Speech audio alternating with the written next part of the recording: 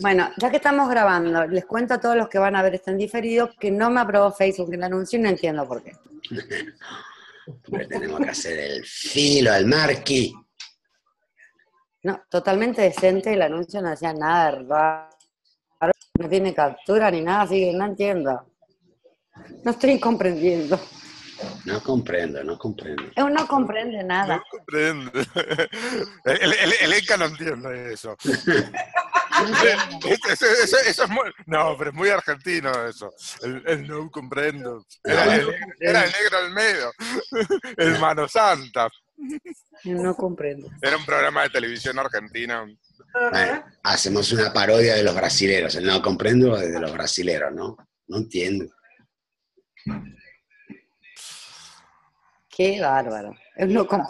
Ahora, ¿le qué hago? La campaña.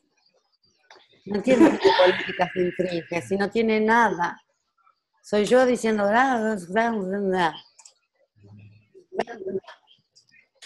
Y no te ponen tampoco la causa. no, dice que infringe, infringe la política de publicidad de Facebook. Eso, eso de jodida te podrían decir. Joder, no va por este este motivo, ¿no? Entonces lo cambias si quieres y si no, bueno, no te lo aprobarán nunca. ¿Para qué tanto rollo?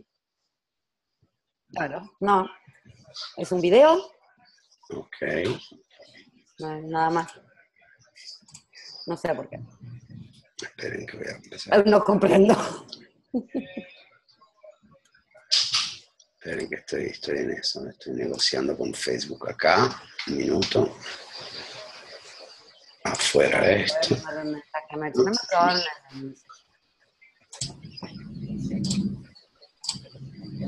Un mensaje,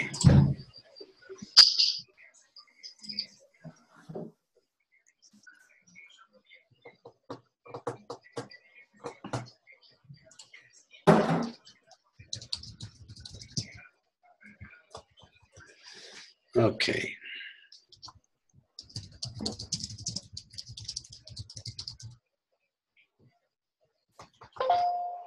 no me Estamos en vivo en Facebook. Hola, gente. No, Yes.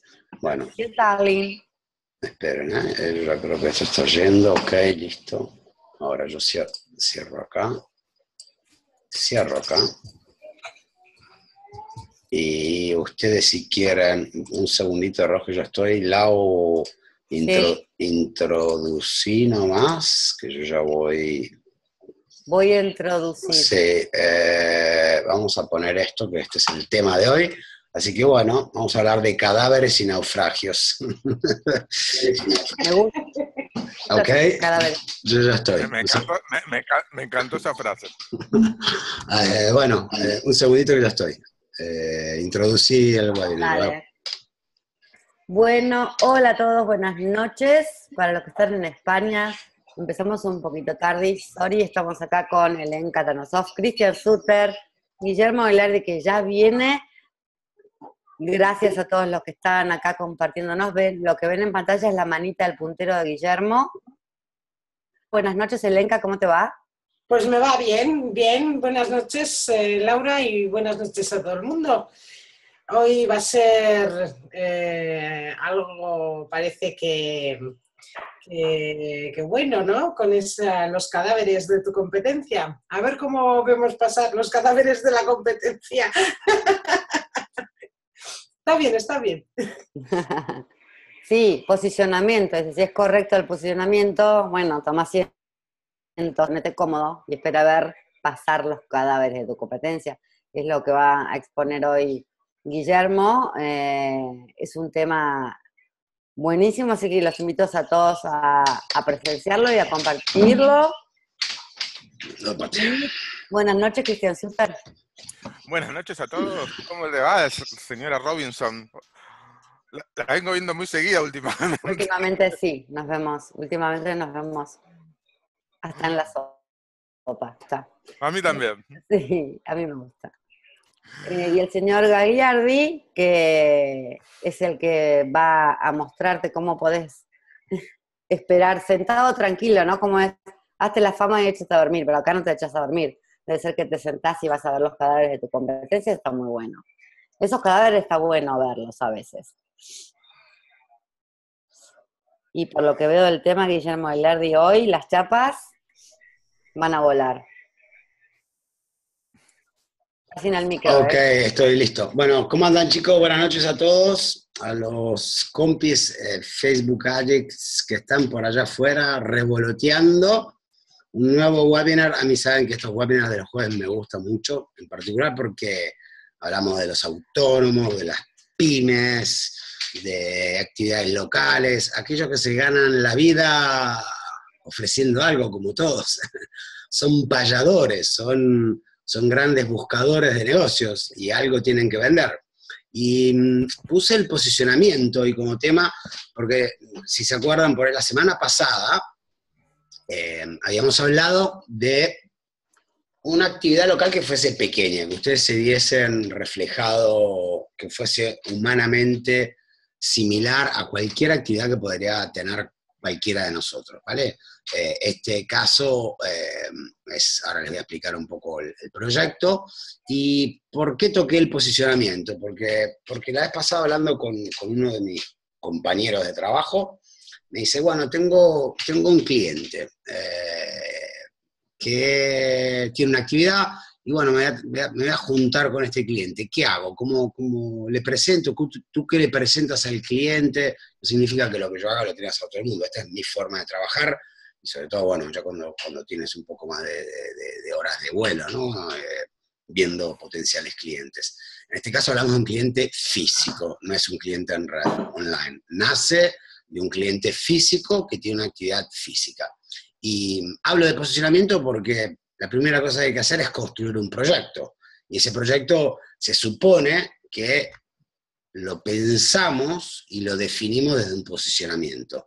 Si el posicionamiento desde mi punto de vista está equivocado, y ahí hay poco, ahí, vamos a empezar a buscar mil cosas que si alguien lo viese de afuera se daría cuenta que uno de los grandes problemas podría ser el posicionamiento y me pareció interesante charlar de cómo se construye un proyecto, porque el resultado después es, una vez que los cimientos son correctos, es simplemente pegarle cada vez más cerca al clavo hasta que, hasta que lo hundimos contra una pared. Ahora, si el posicionamiento está equivocado, es como decir que voy a, a ver qué puedo usar como ejemplo, voy a ir a pescar, ir a pescar.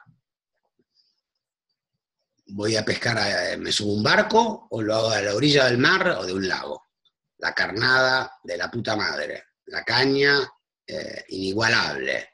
Eh, todo perfecto menos que dónde estoy posicionado.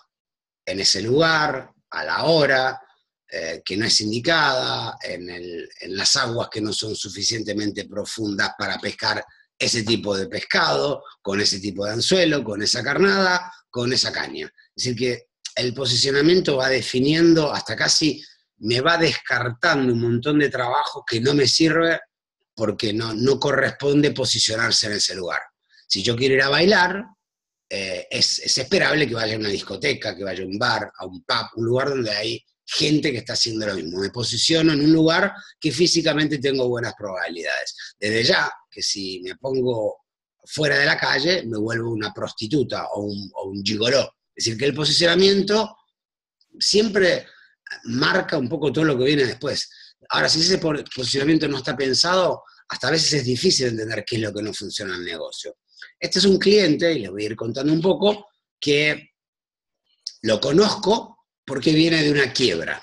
Acá en Italia hay un, hay un proverbio popular a mí, yo, a mí me gustan mucho los proverbios populares porque son muy sabios. Dicen que la primera generación crea, la segunda generación mantiene y la tercera destruye. Eh, mi cliente pertenece, ¿a cuál generación pertenece? A la tercera. A, la tercera, a la que quemó las naves. A la mierda, te va por culo todo, no quedó la empresa, cerró. Yo la agarré cuando estaba quebrando. Me dejó poco dinero colgado, 1.500, 2.000 euros, porque teníamos pocas cosas ahí, y pues ya, ya el fuego estaba, se veía la cortina de humo de, de kilómetros de distancia. Entonces, bueno, las últimas cosas que pudimos recoger, recogimos, y lo que no, se quedó. A, los dos, tres años estuvimos tratando de hacer algo, y nada, hasta que en un momento me vuelve a llamar y me dice, chao, sono Marco, ¿te, acuerdas de mí? Oh, Marco, ¿qué anda de tu vida? y ahí retomamos la cosa. Entonces, vamos a hablar de este tema que es un caso práctico, donde les voy a compartir eh, bueno, estas filmenas hoy las hice en, nanosegundos, poco tiempo, así que tienen que haber mil errores, pero les voy a ir compartiendo el proyecto. Bueno, el caso práctico es un consultor eh, que acá dice, y ahora se los explico, eh, que elige un poco posicionar una marca fuerte para vender. Elige posicionarse él mismo para que él se vuelva una marca fuerte. Y ahora les explico por qué. Eh, él decidió eso y, qué cosas fui derrumbando como, posibilidades, qué cosas le dije que no le iba a hacer porque estaba equivocado el posicionamiento y qué terminamos haciendo, pero fue un trabajo guiado. Fue un cliente colaborante, un cliente que me estima, un cliente al cual yo le estimo y por qué el posicionamiento fue y sigue siendo importante a la hora de construir un proyecto. Una vez que construyo todo todo el rancho, ahí está, ahí queda. Ahí después no puedo volar todo para atrás y arrancar nuevamente. Esa es la parte donde, donde creo que a veces fracasan la mayor parte de los negocios, eh, porque no está bien posicionado el negocio, no está bien posicionado el nicho de mercado, no está bien posicionado el servicio, el producto, el precio, mil cosas que vienen por añadidura. Entonces acá la idea que es eh, definir cuál es el, el cliente ideal, volverse atractivo con una oferta, ofrecerle el máximo valor, a través de tu oferta y definir la misión eh, a la hora de servir a un cliente. ¿Cuál es la misión que nosotros tenemos a la hora de ofrecer servicios a un cliente?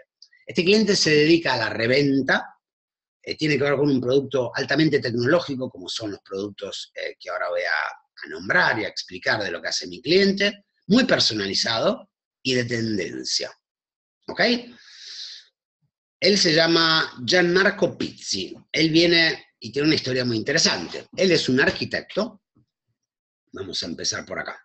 Él es un, arquitecto, mm, tiene cuarenta y pico de años, un poco menos que yo. Eh, viene de tres generaciones de producción de puertas y marcos de ventana. ¿Ok? Acá en Italia hay, una tradición muy fuerte, también por una cuestión climática, eh, todo lo que son marcos de ventanas tienen que estar muy bien hechos, con doble vidrios, porque tienen que aislar muy bien frío y calor, porque lo pide la comunidad europea, porque lo pide tu bolsillo a la hora de calefaccionar un inmueble.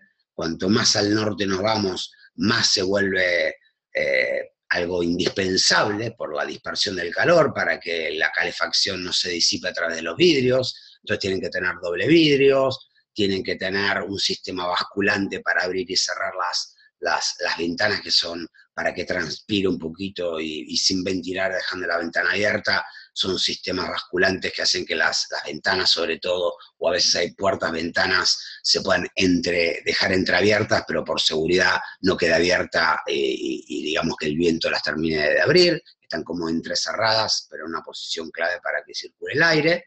Y digo, digo de tendencia porque eh, todo lo que es eh, el sector de muebles, decoración, eh, en Italia marca una tendencia mundial muy fuerte. Acá es el país por excelencia de los muebles, del Made in Italy, del diseño. hay grandes diseñadores de, de, muebles a nivel internacional y mucho pasa por acá. Italia es el tercer exportador más grande del mundo en todo lo que son eh, muebles, muebles para, el hogar, ¿ok? O para oficinas o para el contract, que tiene que ver más con, cosas comerciales. Es decir, que en Italia se le da mucha importancia, una cosa que yo he notado mucho en Sudamérica, en Argentina, soy argentino, tú compras un inmueble y los, eh, los armarios, por lo, general, por lo general es un agujero y le ponen dos tapas así, muy rápido, muy simple y nada más. Acá el mueble siempre es un accesorio externo, donde se crea por un carpintero y está hecho con un diseño muy, muy bien hecho y es un objeto de decoración que el italiano no renuncia. No hace una bóveda de ladrillo y le mete dos tapas y cierra y lo arma y eso quedó, eh, que se vuelve un armario. Es decir, que todo lo que son puertas, marcos para ventanas, acá se invierte mucho dinero. Es parte estructural de una casa. Es parte de lo que hace que un inmueble suba o baje también de valor, porque son cosas estructurales de una casa. Mi cliente llega después de la tercera generación que cambió la industria, vendían, producían, después de tres generaciones, puertas y marco de ventana, y Marco, mi cliente, eh, pertenece a la tercera generación donde su padre y sus tíos manejaban la empresa, él como arquitecto servía mucho, conocía perfectamente lo que se producía, lo que el mercado pedía y porque eh, su empresa funcionaba muy bien hasta que dejó de funcionar, porque el cliente principal de ellos eran las empresas de construcción. Sabemos también muy bien que cuando hay recesión, el primer sector de la industria terciaria que se, que se para, y después efecto dominó, es una cuestión de tiempo, se van parando todas por inducido, porque dependen de ese sector primario, es el de la construcción. El último sector en volver a recomenzar, siempre históricamente, es el de la construcción, que empieza a efecto dominó, con sus tiempos, a hacer mover la maquinaria para el otro lado. Si lo único que se salvan pueden ser los servicios anexos, muy satélites de esos, pero todo lo que es eh, el inducido de la construcción es lo que mueve todo el resto de la economía en un país. Si la construcción está parada es un mal síntoma y es lo primero que se frena. Y ellos trabajaban mucho con las empresas de construcciones, los embarcaban en proyectos grandes hasta que se empezaron a frenar las empresas de construcciones, se fundían las empresas de construcciones y también se fundió la empresa porque el 70-80% del facturado lo hacían con las empresas de construcciones, que los hacían estructurar para producir grandes cantidades y fueron los que encima después no les pagaban. Y ahí fue como dos más dos en cualquier lugar del mundo. Hace cuatro, un año, dos, tres así, a la mierda. Tres generaciones voladas en menos de dos, tres años y así terminó la empresa. Se cerró, hay quiebre. Viene Marco y me dice, bueno, Guillermo, tengo que, tengo que promocionarme. Ok, contame un poco, entonces, ¿qué haría yo? Vamos a hacer de cuenta que arranca este, comienza este proyecto. ¿Qué haces para ganarte la vida? Bueno, me dedico ahora a hacer consultoría para eh, cuatro marcas que yo represento, cuatro de número, que tienen que ver con puertas y marcos para ventanas, con productos similares, posicionamientos distintos, siempre medio alto, y he elegido estas cuatro porque el problema en mi nicho de mercado es que si tú eres un representante genérico, tú llamas a, un punto de venta para ofrecer la casa madre que tú representas y que a él le han dado una zona muy amplia, trabaja en Suiza, la parte de Suiza italiana, y acá en mi territorio todo lo que es la Lombardía, que es el lugar, como decir, la Cataluña, es el lugar que representa una región grande que comercialmente es una de las más importantes de Italia, ¿no? Entonces le dieron esa región, más estamos, nosotros confinantes con Suiza, la parte de Suiza italiana. Ok. Él elige estas cuatro marcas porque el problema que tienen todo este tipo de autónomos profesionales es que si haces algo más genérico, cuando vas a visitar un cliente, déjame el catálogo y no te dan, no, no te hablan, no te dedican cinco minutos del tiempo. Y cuando te dejan un catálogo no sirve para una mierda, porque no hablas con el dueño. ¿Y, para qué está él? Para el, showroom, o quien es el cliente final y que estamos viendo, está ahí para tratar de tener un poquito más de asesoría. Si no, su producto o su servicio, sobre todo, se vuelve un commodity, tiene poco valor y terminas en el precio. Te tiran el cuello y, y cuesta, cuesta vender. Entonces él eligió cuatro marcas muy fuertes un posicionamiento bastante medio alto y un poco el cliente que estaba en un territorio que le han dado una zona amplia, le han dado un producto donde él viene una experiencia que se ha posicionado, y yo dije estoy de acuerdo, en yo conozco porque he producido puertas y ventanas, yo las he producido, a, mí nadie me cuenta cómo está producida una puerta y una ventana, técnicamente sabe mucho y él decidió elegir empresas con un nivel y un, estándar de producción de calidad y de diseño muy alto para venderla a clientes que estuviesen dispuestos a pagar ese, ese gap, ese, esa tijera de más valor por la consultoría de una marca que vale más dinero, que tiene más prestigio y que no es para todos.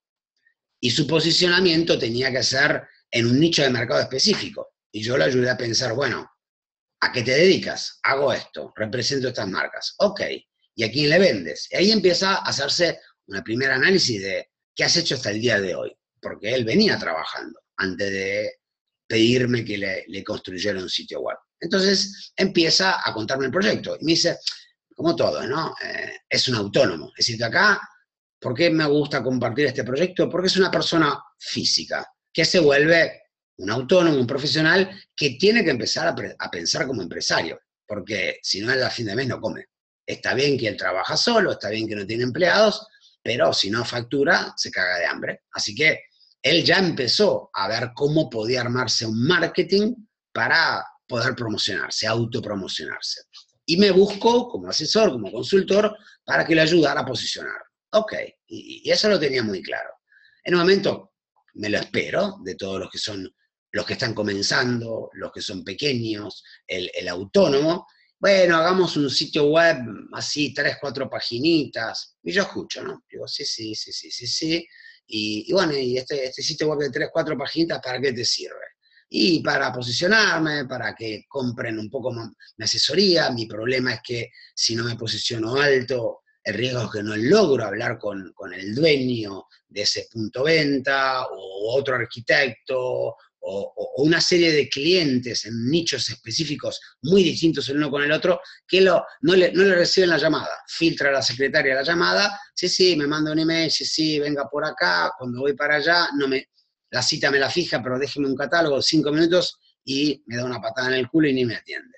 Entonces, yo lo que quiero es, no, no, no, no, estás hablando con Marco Pizzi, uno que viene de muchos años de producir por tres generaciones puertas y marcos para ventanas, soy un arquitecto, técnicamente sé lo que hace falta producir o comprar para que tu cliente esté bien servido y mi trabajo es asesorarte. Entonces digo, bueno, cuando me empieza a contar esto, dije, bueno, Marco, pero entonces cuéntame un poco a ver quién es tu competencia. Porque cuando tienes un cliente así que nace y no sabe bien cómo orientarse, él tiene en su mente un competidor que le está, o que él se está inspirando, o que le está un poco pateando los tobillos. Entonces me muestra una competencia. Y digo, bueno, a mí me resulta que me mostró cuatro o cinco sitios, competitors, yo le digo, este no vale, no vale nada, este no me dice nada, este está bien. Esta, esta empresa, dice, es una persona que tiene un grupo detrás. Ok, fíjate cómo está bien brandeado, está bien posicionado, es una buena marca, es creíble, tiene fuerza, tiene autoridad, es un proyecto detrás. Me puede gustar más o menos, pero hay un proyecto detrás. Hay un posicionamiento muy claro. Se vende él, se vende muy bien. Entonces, yo no te voy a hacer un sitio de tres, cuatro paginitas como dices tú, porque para eso sigue como estás ahora. No te hace falta. Sigue trabajando con los contactos que tienes, viene ya históricamente de una empresa que trabajas con muchos clientes y termina de quemarte los contactos en calientes que tienes y después empieza a sembrar de vuelta en frío. Pero para hacer un sitio de tres, cuatro paginitas, como dices tú, porque no quieres invertir pasta, ¿para que para que me llamas? Dice, bueno, pero sabes que yo soy autónomo, que recién todo lo que vos quieras. Si vamos a hacer un sitio web, hacemos un sitio web importante. ¿Por qué? Porque si no te posicionas bien, ese sitio web tiene que ser el comercial que tú no tienes, que eres tú mismo, que te permita, cuando hablas con una empresa, mire, este soy yo. Y ya que te venda, ese tiene que ser un vendedor, tiene que ser un consultor que está filtrando a tus clientes y muestre claramente yo no soy el último de la clase, yo no soy un representante genérico con la valijita que te tiro tres catálogos y que vendo más de lo mismo y hay 450 mil en la calle, todos cagados de hambre. Porque no te sirve. Para eso no me pagas. Me pagas para que te construya un proyecto y te posicione correctamente. Todo pasa por esto, porque si yo no le hablara de, de, esto, él me dice, construyeme un megaproyecto. Yo digo, tendrás que poner un poco de pasta, money, lana, porque se hace una vez, pero se piensa bien y te posicionas correctamente. Lo que creemos ahora te va a ayudar a hacer más simple el trabajo, a vender más fácil, a posicionarte en un modo donde te sacas de encima tres cuartos de tu competencia porque pertenece en ese nicho más genérico, donde tienen marcas más genéricas, el producto es más genérico y sabe lo que hace la gente, se va a ir a Polonia, porque en Polonia producen también, en vez de en Italia, y ya por precio te dejan afuera, porque no vas a poder competir. Entonces, como tú has buscado marcas que cuestan más por encima de la media y no te van a comparar contra los polacos, sin ir tan lejos, no hace falta ni siquiera irse en China, Y bueno, a este punto hay que hacer un proyecto diferenciante, porque las cuatro marcas que tienes tú eh, son de marcas que cuestan de la media para arriba. Entonces, empezamos con definir los nichos de mercados. Tienes seis nichos de mercados. El primero es, faleñamería son los carpinteros. El carpintero que le compra lo que él no produce. Si el carpintero produce puertas, pero hay puertas que le piden, mire, quiero una puerta, el cliente le dice, le hizo algo de carpintería en su casa y quiero una puerta así, quiero algo muy particular, el carpintero, como no va a ser una puerta solo para ese cliente, dice, mira, esto no la tengo, llama a él y dice, mira, mostrame un catálogo que tenga puertas particulares, porque este cliente tiene dinero y quiere algo particular para puertas de exterior, las puertas interiores, la de los cuartos, hay dinero y quiere algo específico, o quiere de colores muy particulares, que yo no las tengo armadas así. Entonces, este es, un, este en el posicionamiento, este es un tipo de cliente que mi cliente sirve. Es decir, que acá hay un nicho específico. Y al carpintero no le hables como le hablen los demás, porque no le interesa nada. Porque él te va a comprar cuando un cliente le pide específicamente algo que él no produce. Carpintero, trabaja las puertas y la madera, es su materia prima pero lo va a llamar a mi cliente cuando su propio cliente tiene algo muy particular y él por un solo cliente no se pone a hacer puertas a medida. Mi cliente sí, tiene uno de los productores que tiene un, set de puertas que te cagas, que te, pero se te caen los calzones, y son todas puertas a medida, hechas a mano, que son, son para verla nada más. ¿Y los clientes la compran? Claro que sí. Ese nicho de mercado sí. Este es el primer nicho de mercado y acá correspondía definir un posicionamiento específico. Porque si no, ¿cómo hago yo para mostrarle a mi potencial cliente que yo trato puertas muy especiales para clientes muy especiales? Si tú no lo dices, no lo comunicas y no te posicionas como tal, el riesgo que te tomen como un vendedor genérico de puertas y ventanas que está lleno el mercado, que están, les cuesta vender porque no logran diferenciarse con algo específico y empieza de vuelta a ser la variable precio que te saca fuera de juego. Ah, si me vendes eso, no, este me lo vende a menos, y ahí ya, está, ya estás afuera, porque realmente es una guerra de precios muy fuerte todo lo que es construcción, ¿ok? O todo lo que es, en este caso, el sector de la decoración eh, para interiores de casa.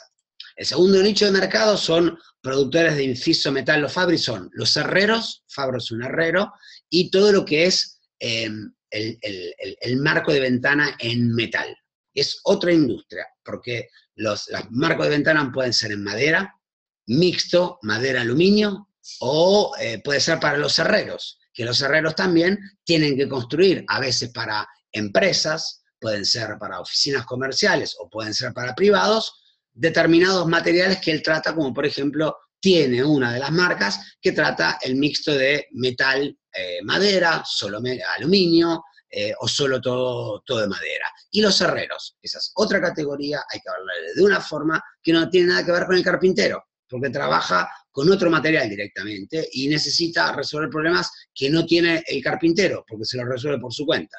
Segundo nicho de mercado. Tercero. El tercero es el de los showrooms, que son los puntos ventas.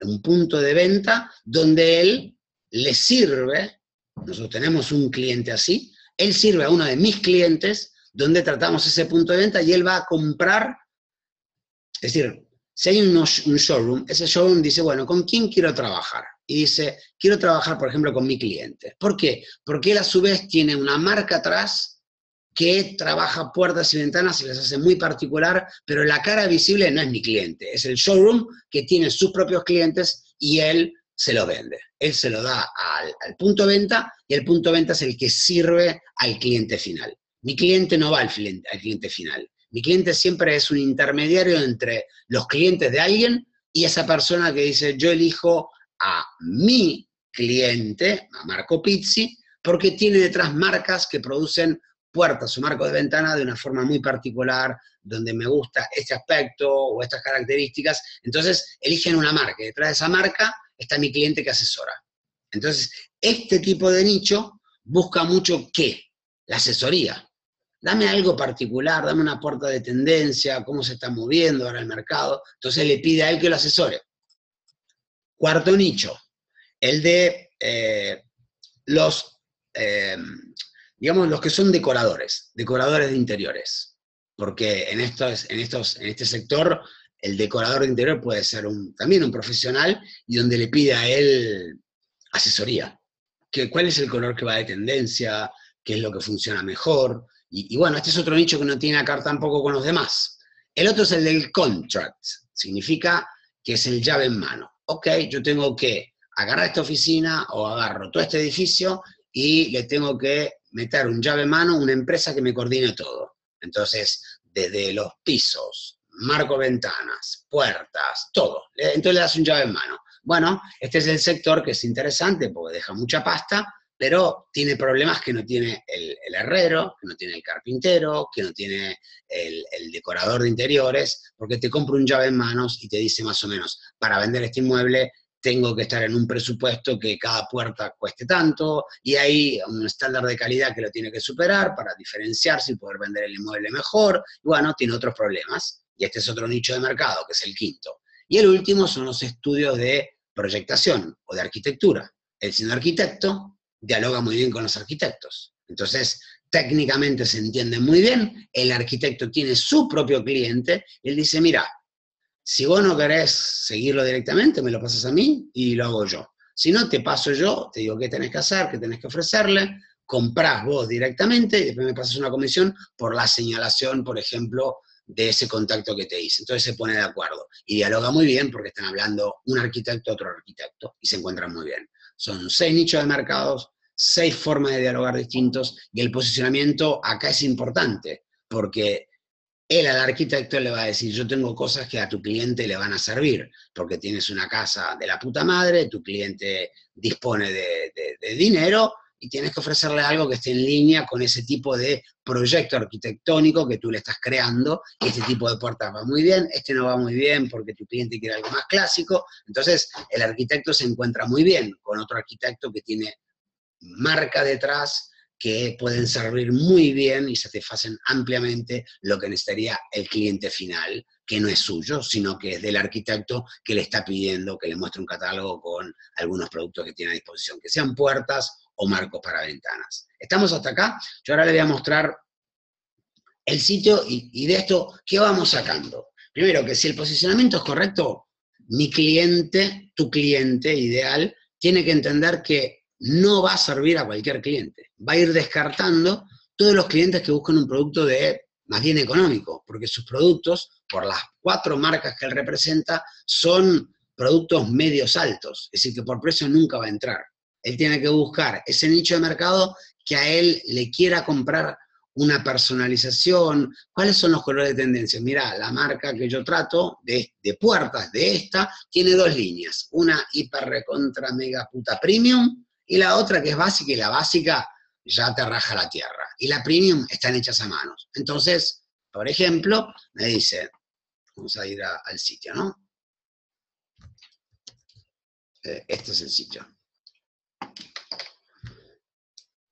Por ejemplo, me decía, yo tengo unos clientes que son unos africanos, es el, embajador del Congo, y en su casita necesitaba 50 puertas, y las 50 puertas que me compró son 50 puertas hechas a mano, que cada puertita costaba más o menos unos 3.000, 4.000 euros. Cada puertita. Son puertas de interiores. ¿eh? Si como este es el embajador, son puertas, como ven, todas entalladas a mano, hechas literalmente a mano una por una. Tiene una línea de puertas así. Entonces, acá cómo fue organizado el sitio. Bueno, el sitio es un sitio donde eh, presentamos un poco unos slides con pocos, pocas imágenes. Acá el menú principal de primer nivel es Gianmarco Pizzi, que es mi cliente, quién soy, qué hago, cómo pienso, dónde trabajo y a quién, a quién me dirijo, quién es mi cliente. Las categorías, acá yo con esto posiciono un poco mi negocio, me dedico a los carpinteros, puedo servirlos muy bien, a los productores de marcos ventanas en metal y a los carpinteros, a los showrooms y revendedores de marcos de ventanas que busquen productos de un cierto tipo, que no lo tiene todo el mundo, porque soy exclusivista para esta zona y tienes que pasar por mí si quieres trabajar con estas cuatro marcas, a los showrooms o, decoradores de muebles, al que hace contract, que es servicio más de llave en mano en la parte de construcción, cuando construye un nuevo inmueble y tienen que ponerle todo y amueblarla a la casa, y a los estudios de proyectación, arquitectos y, proyectistas en general. Novedades y contactos. Y si yo visito el sitio en, general es, eh, necesitas una consultoría, un presupuesto, contáctame. Él, Marco, Gianmarco Pizzi, se presenta, eh, habla que tiene 25 años en esta industria, es decir, que no comenzó ayer. Eh, acá explica qué hace, cómo la piensa, Acá un poco dice a quién se dirige, dónde se encuentra, cuáles son las zonas en las cuales trabaja. Es en esta región en Lombardía, que es toda mi zona, es una región muy grande que comprende nueve provincias en el norte de Italia, y el Cantón Ticino, que es la parte de la Suiza italiana que está porque está como territorio cerca a la, suya. Estas son las categorías que ya se ven acá, que son el carpintero y estas cinco más que hablamos antes. Acá un concepto, un mensaje la, ventana es la comunicación arquitectónica, porque un poco él entiende que esta puerta-ventana es el primer espacio que un arquitecto eh, toma como dimensión de espacio de comunicación entre el interno y el externo. Y bueno, una frase que eh, me gusta mucho esta última parte que él eligió, dice, en, sustancia, una ventana ofrece eh, un poco la, la, carta de identidad, la cédula de identidad a un arquitecto de, una costumbre urbana, de un fenómeno y un medio directo para leer eh, la arquitectura. Es decir, es una forma de leer quién está detrás de esa casa, la puerta y la ventana, porque es el canal de comunicación de lo que queda afuera, que son tus invitados, y tú que entras, y tú cómo vives tu espacio. Y para un arquitecto, por ejemplo, la puerta y la ventana son esos espacios que tú has decidido eh, intercambiar comunicación si tú le abres la puerta o dejas entrever a través de una ventana qué hay detrás de ese inmueble. Las novedades y acá un poco, bueno, el footer. Y estas son las marcas que él representa, que estas son de puertas, estas son de marcos de ventana y estas hacen las dos cosas. Em, ¿Qué es lo que tenemos que rescatar, por ejemplo? Una cosa que, yo les quiero mostrar, y esto lo, se, se un poco lo hablo desde el posicionamiento. ¿Por, qué es, importante y hago mucho hincapié en el posicionamiento? Porque a veces el sitio yo por, doy por descontado que puede ser bonito, lo debería ser, el que construye proyectos, no veo por qué hay que hacer un sitio horrible, feo, sin gusto, con poca elegancia, eh, creo que es el trabajo del que lo hace todos los días, lo tendría que hacer bien, pero tiene que haber un proyecto y ese proyecto, primero todo, pide un posicionamiento, pide una estrategia, pide que se piense, se guíe al cliente y que si mi cliente me decía yo quiero tres, cuatro paginitas, no, no te sirven tres, cuatro paginitas, te sirve un proyecto que sea suficientemente creíble para venderle a seis nichos de mercado y que vean tu sitio web y cuando te pones a dialogar ya ven que están hablando parece con una empresa, no con un, profesional autónomo.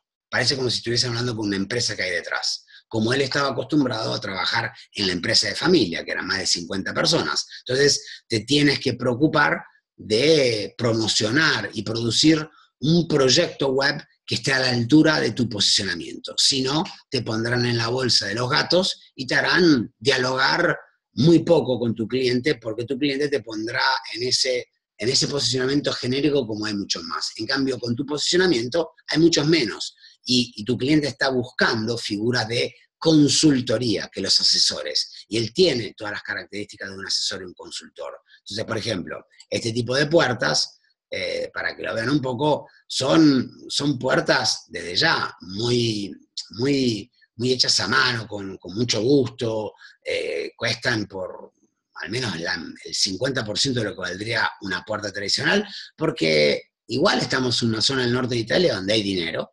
donde el italiano el 80% es propietario de un inmueble, es suyo, entonces le pone pasta al inmueble. Entonces, a este punto es mejor elegir inmuebles que de alguna forma, eh, inmuebles, productos que te caractericen y te diferencien, en este caso por posicionamiento y precio, porque hay entre comillas, menos productores que se dedican a hacer productos de tanto alto valor para clientes que se puedan permitir una puerta de 3.000, 4.000 euros. tiene 7, 8 puertas para, para hacerlo, se te fueron 30.000 euros, nada más que en puertas. 40.000, 50.000 euros solo en cuatro puertitas, 10 puertitas, 8 puertas. Hay un poco menos, pero es un poco esto, ¿no? Entonces acá lo que, lo que buscamos, lo que él busca es, mira que técnicamente le tengo que mostrar cómo, cómo está armada eh, el sistema de una puerta o una puerta-ventana, y, y, cosas que son importantes. Esta, por ejemplo, está hecha a mano. Esta directamente es una puerta hecha a mano decorada a mano, intarsiada y cavada la madera a mano. Y sí, son puertas de por ahí 5.000, 7.000, 8.000 euros cada una. ¿Y te las compran? Sí, porque hay mercado para todo. En el mundo siempre hay mercado para todo. Y él entiende que a este mercado le puede servir muy bien. Por eso era importante el posicionamiento, más que cualquier otra cosa. Entonces, lo, que, lo que insistí mucho con él fue, Marco, acá no podemos hacer un sitio de mierda con cuatro páginas para que tú digas, ok, ya hice, ahora no me jodas, le ponemos mil pavos y le tenemos el sitio. Porque no te hace falta eso, te hace falta un posicionamiento fuerte. Una de las cosas que a mí me gusta, fíjense cómo él se describe. ¿eh? Por ejemplo, cuando él habla, después volvemos un poco a esta parte de acá. Cuando él habla de quién es Marco, cómo, es decir, cómo la pienso. Fíjense la parte del cómo la pienso, ¿no? Que está, después yo lo puse en las diapos. Fíjense lo que él dice de cómo la pienso. Él dice, eh, sin entrar mucho en el, complejo mundo del marketing, la teoría de base del marketing utiliza la metáfora de las siete Ps y están para identificar los elementos en los cuales el profesional debe trabajar para definir una estrategia de marketing completa. La P de producto, precio, promoción, el pozo significa eh, el lugar, es decir, la location donde estás ubicado, el packaging, el posicionamiento y la persona, la persona. En estos últimos años, el factor persona resulta ser lo que yo creo estratégicamente más ganador. Más te vale, macho, porque eres una única persona que sale a vender, más vale que yo te vista como Dios manda, porque tú vendes a ti mismo. Detrás hay marcas, pero te tienen que comprar a ti. Y él pone, en nuestro sector, en mi modesta opinión, los clientes no compran productos de las empresas, compran a los colaboradores de esas empresas que ellos representan, que venden. ¿Están de acuerdo en eso, chicos? Acá hago un minuto, una pausa eh, entre todos. Eh, ¿Se dan cuenta cómo, un, un, autónomo tiene que posicionarse muy distinto de una empresa? Por ejemplo, Marco, cuando estaba en calidad de dueño de una empresa, y él vendía qué cosa? Eh, el lugar donde producía, un lugar enorme, produzco 4.000 puertas por día, por mes, por año, no sé, ¿y qué muestra? Que la tiene grande, que es grandote, que está hace tres generaciones, que sirve a tantos clientes, y acá ¿qué tienes que vender? Joder, tienes que vender tu, tu carita, y te tienes que sacar de encima tres cuartos de tu competencia simplemente de cuajo, porque contra eso ni me hables. Yo no soy eso, yo, yo represento otra cosa. Por eso acá digo que el posicionamiento es todo y tú posicionate bien y verás literalmente pasar los cadáveres de tu competencia. Mientras a veces le falta trabajo, a él no le falta trabajo, él tiene. Y cuando vende, vende al precio, nadie le va a decir, bueno, negociemos el precio. Si saben que los productos que él representa, marcas, ya tienen un posicionamiento alto. Es como decirle a Armani o a Versace que, bueno, hacemos, hacemos una rebajita. Anda al mercado de las pulgas que está en la esquina de tu casa y te compras cuatro trapos como hace todo el mundo. Ahora, si vas a Armani a Versace, o se vas a una, carterita de Gucci, le pones dos, dos mil pavos o no te lo dan. Y sí, el descuento te sirve un café mientras estás comprando haciendo shopping en Milano, pero no te van a descontar nada porque el posicionamiento está hecho a propósito que tiene que valer dos mil euros. Y si le pides tres mil, la quiere, la quiere más la gente aún, porque cuesta tres mil pavos una, una, una carterita de Gucci. Entonces, eso es todo, es el posicionamiento. Que la cartera de Gucci tiene mejor calidad que una hecha de cualquier artesano italiano que trabaja el cuero de la puta madre, absolutamente no.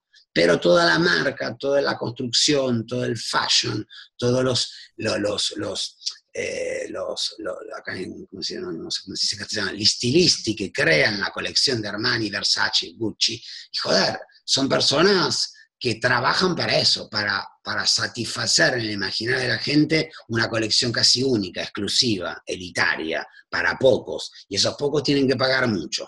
Y eso funciona siempre, desde que el mundo es mundo. Entonces el posicionamiento acá es todo. Y él, teniendo ya marcas que cuestan mucho, desde ya que es el 90% de su trabajo posicionarse bien. Si no, no lo levanta más, porque por precio quedará siempre afuera, o por precio quedará siempre adentro. Ya no se discute el precio. El precio está por descontado y por demás que estoy por encima de la media, pero tengo una colección de puertas o de marcos ventanas que te las sueñas, que están hechas a mano con, con piel humana, si hace falta. Y se saca a la gente el pedacito de piel de humana y se la pega así en la puerta y la gente paga porque es única. Y bueno, en los mercados en los que nos movemos nosotros, si sabemos que hay clientes que están dispuestos a pagar por una puerta personalizada hecha a mano, cavada por un carpintero, un maestro artesano de puertas, que es un escultor casi, y la pagas, macho. Y si no, pues búscate la puerta de Ikea, que te la venden en Ikea por 50 euros. Y listo, y está perfecto. Hay mercado para todos, para Ikea de mercado para una industria muy evolucionada en Italia del sector de muebles, puertas, marco ventanas, que tiene mucha tecnología atrás, porque hay realmente no solo fashion, no solo diseño, sino también hay mucha tecnología que hay que mostrarla, hay que saberla venderla, hay que saberla ponderar, porque uno le puede decir, mira, esta puerta es aislante, o esta puerta ventana, o este marco ventana, tiene una performance tan alta en términos de ahorro energético, que tú lo que gastas, que parece que gastas mil, dos mil, tres mil euros más, te la ahorras en un año de calefacción, porque es una tecnología perfecta, porque es antirrobo. Le puedes dar 400 palazos, no rompes, no entras por esa ventana, no la puedes forzar. Entonces, detrás hay que posicionar una serie de objeciones, que él las sabe manejar muy bien, porque es un gran consultor, es un arquitecto, es decir, que técnicamente no le expliques a él cómo está hecho el producto, y era la empresa suya, digo, Marco, acá si lo hacemos bien, tú, tienes trabajo para el resto de tu vida, porque la tienes todas eres un buen consultor, has tenido empresa propia, has producido las puertas, nadie te puede contar cómo está hecho, cómo hecha una puerta, una ventana, joder, tú las producías para los demás. Es decir, que si tu posicionamiento es correcto, a ti trabajo no te debe faltar en tu puta vida. Y dicho y hecho, el, el sitio era lo más importante de todos, lo que él consideraba que era una, ley correcta para presentar a Marco que no es cualquiera, porque tiene una serie de características que no todo el mundo tiene. Por eso, y que no es tonto, se eligió cuatro marcas de un target muy alto, de un posicionamiento muy alto. Entonces, van entendiendo cómo el posicionamiento va ayudando al cliente a casi a, es como ir en bajada. En un momento que el posicionamiento es claro, es como que tu foco es claro, tu, visión es clara, tu cliente ideal es clara, lo que te, las objeciones las respondes en forma clara, porque ya descartas todo, descartas lo que no sirve. Por precio, no hables conmigo. Si quieres algo estándar, no hables conmigo. Quieres algo de calidad baja para que cueste bajo, no hables conmigo. Es decir, que se vuelve binario, se vuelve más Matrix, se vuelve un casillero donde como un flipper, si se se encanala por ahí, sigue un caminito y termina ahí abajo donde tiene que terminar.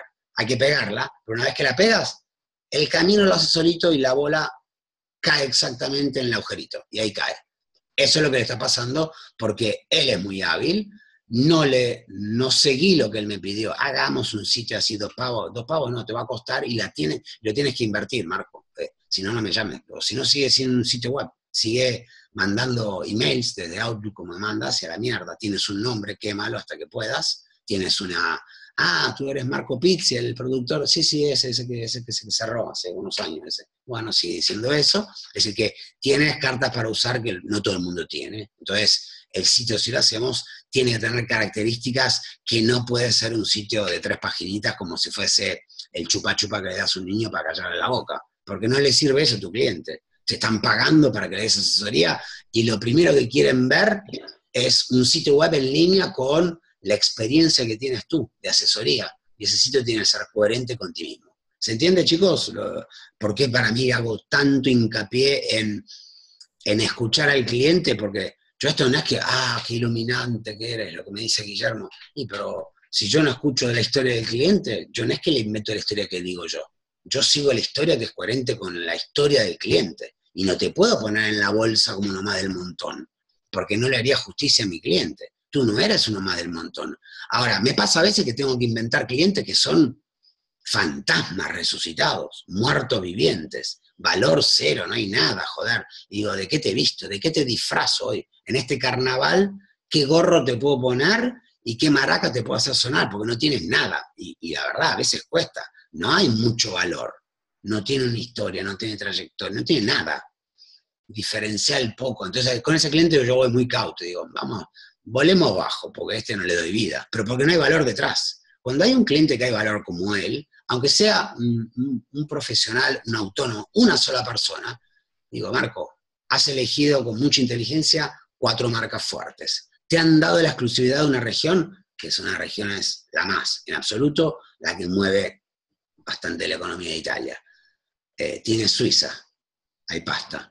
Eh, a los suizos le conviene comprar acá porque le compran a un precio más bajo que lo que le cuesta en Suiza. Es decir, te la tienes que jugar bien estas cartas. Así que el posicionamiento tiene que ser en línea con las posibilidades que tienes tú ahora de jugar de estas cartas. Es decir, que un poco para ahora ir haciendo un cierre de la presentación, no voy a hablar de resultados porque ¿cómo puedo hablar de un resultado si el posicionamiento es equivocado? Primero tiene que haber un, un proyecto pensado en base a ese posicionamiento. Y el proyecto ya tiene que estar concebido con preguntas que tenemos que hacer al cliente, entendiendo de dónde viene, dónde está parado hoy, cuál es el problema.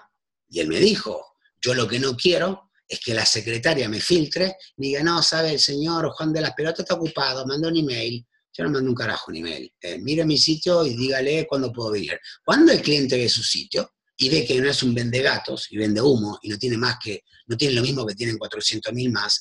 Ah, buongiorno, señor Pizzi. Ah, la llamo porque el señor eh, Juan de las Pelotas lo quiere ver y lo va a recibir el día tal día. Y ese día no le dedica cinco minutos y le cierra la puerta y lo manda afuera a su casa y le pide que le deje un catálogo. Habla con él, dialoga con él. Escúchame, Marco, y tú que estás en este mercado, y tú que vienes de esta experiencia, y tú que has tenido una empresa, ah, ahí cambias otra música. El cliente viene a tus pies, y el cliente te pide asesoría, y el cliente le dice, ¿qué me aconsejas para...? Ah, y ahí cambia todo. Ya tú te pones, te levantas por lo menos medio metro a nivel de mar, así, ya estás por encima, y ahora el cliente te pide a ti que le digas qué, qué le sugieres.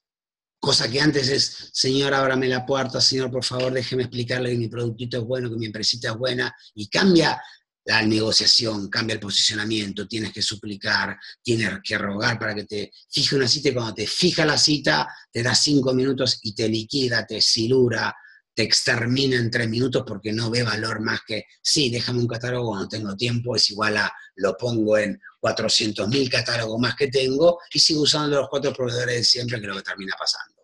Entonces, fíjense cómo le vuelvo, le volvemos el trabajo más simple.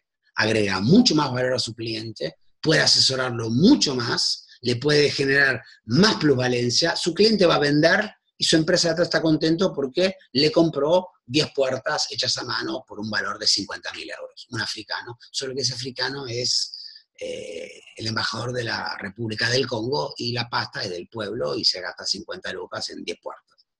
Está bien, está perfecto, está para eso. Son puertas que están hechas a medida. Entonces, si a eso no lo ponderamos, no lo valorizamos, y es como que Guillermo es igual a Elenca, Elenca es igual a Cristian. No, Guillermo, Guillermo, Elenca es Elenca, Cristian es Cristian, y de cada uno hay que posicionarnos de una forma que nos genere plusvalencia, diferenciación. Y ahí sí yo a mi competencia, un poco como en el proverbio chino, siéntate a la orilla del río y, y tranquilito verás pasar a todos tus cadáveres, que son tu competencia. Porque esos llorarán por el precio y tú estarás colocado con inteligencia en un nicho de mercado donde ese producto hay valor en tu trabajo, en tu, en tu, asesoría, y las cuatro marcas que representan que si está en tu zona, tienen que pasar por ti. Y si hay un buen posicionamiento, los clientes necesitan productos como esos. Y no van a hablar de precio, van a hablar si tú los asesoras por color, por tendencia, por modelos, por practicidad, por lo que mil sea, ¿qué cosas me sugieres? Elígete esta marca, tiene este catálogo, mira, te voy a mostrar tres, cuatro puertas que yo creo que lo pueda bien con tu, con tu hogar. Así la del arquitecto. Mira, tú eres un herrero, ofrece a tu cliente esto porque hay un excelente compromiso entre calidad y precio y tienes que construir 50 departamentos, hacer así. Al contract le habla de otra cosa, pero a todos los asesora, los termina asesorando. Y para un autónomo, ¿qué, qué, qué va a hacer si no los asesora? ¿Cuál es el valor agregado? Si la empresa es una marca, que por ahí la conocen, la conocen más, la conocen menos, tiene que él venderse. Entonces, este posicionamiento es clave en cualquier negocio, no importa lo que vendas. Si el posicionamiento es correcto, el proyecto tiene que tomar forma, dimensión y tiene que respirar y sudar de lo que mejor conviene a ese cliente en ese nicho de mercado para servir a su potencial cliente. Y todo se vuelve más simple. Ahora, con el posicionamiento es equivocado. Uno dice, la campaña no funcionó y esto no va, y el precio y la crisis. ¿Tú crees que él con crisis o no crisis no vende lo mismo ese producto? Hay gente que tiene pasta y simplemente está diciendo a quién se la pongo. Y él tiene trabajo, no le falta trabajo. Es decir, que no es el dinero. Claro que no le va a ofrecer a todo el mundo. Tiene que ofrecerlo a alguien que tiene esa disponibilidad económica para invertir. Pero una vez que definió que necesita una puerta de esas características, busca ver cuáles son las marcas o representantes de zonas que tienen ese tipo de productos. Y él termina en la lista. Entonces se, le vuelve más, más, simple. Más o menos, primera parte, ya casi cerrando la presentación, es la premisa que yo les doy. Y esto vale para cualquier negocio. Vale que seas un autónomo, una actividad local, una pyme, eh, cualquier cosa. Es, posicionarte correctamente y no hacerse fagocitar por el precio. Porque en el precio probablemente Marco tendría ese problema que tiene muchos, donde no logra diferenciarse del otro porque lo toman como parte más de lo mismo, aunque no sea verdad. Pero ya, si no es por el mercado nacional, te ponen con un mercado polaco, con el mercado, el mercado de los rusos, que también producen bien, y ya hoy por hoy es difícil, muy difícil diferenciarse. Si uno no construye un, proyecto bien posicionado, se hace 10 veces más difícil y el riesgo que después eh, no logres mover suficiente venta para justificar una actividad, que seas un autónomo, una pequeña actividad local o lo que fuera. Eh, L, Chris, Lau, ¿quieren agregar algo? Ah, que, nombraste a, Gucci, eh, acá en Ginebra tienen una estrategia de marketing que, la vienen haciendo hace muchos años, que un día entre julio y agosto está, ponen todo el 50%. Ah, y ese, ese día lo comunican una semana antes en el sitio web, pero es al azar. Y entonces, pico que tienen entre en el mes de julio y agosto y junio esperando que, llegue esa, fecha es impresionante. Eh, y, bueno, y, venden ese día, venden prácticamente lo mismo que todo el resto del año. Eh, y bueno, digamos, el, posicionamiento no sos nada si no te posicionas. Digamos, puedes tener el mejor producto, si no, la gente no te ve y, no, no, apuntás al, nicho de mercado que querés ofrecer tu producto, y bueno, no te sirve de nada. Eh, claro, no hay, trabajo de análisis. Cuando el otro día eh, hablamos con este colega nuestro, compañero nuestro de trabajo, me digo, ¿qué hago con este cliente? Digo, simplemente escuchar. Esto es la historia. ¿De dónde vienes? ¿A qué te dedicas? ¿Quién es tu cliente? ¿Cómo lo has vendido al día de hoy? ¿Qué vendes? ¿Cómo lo vendes? Vendo así, vendo así. Escucho nada más. Después, ¿qué problemas tiene? No? Si me llamas será por algo si fuese todo fantástico, excelente, no estaría acá.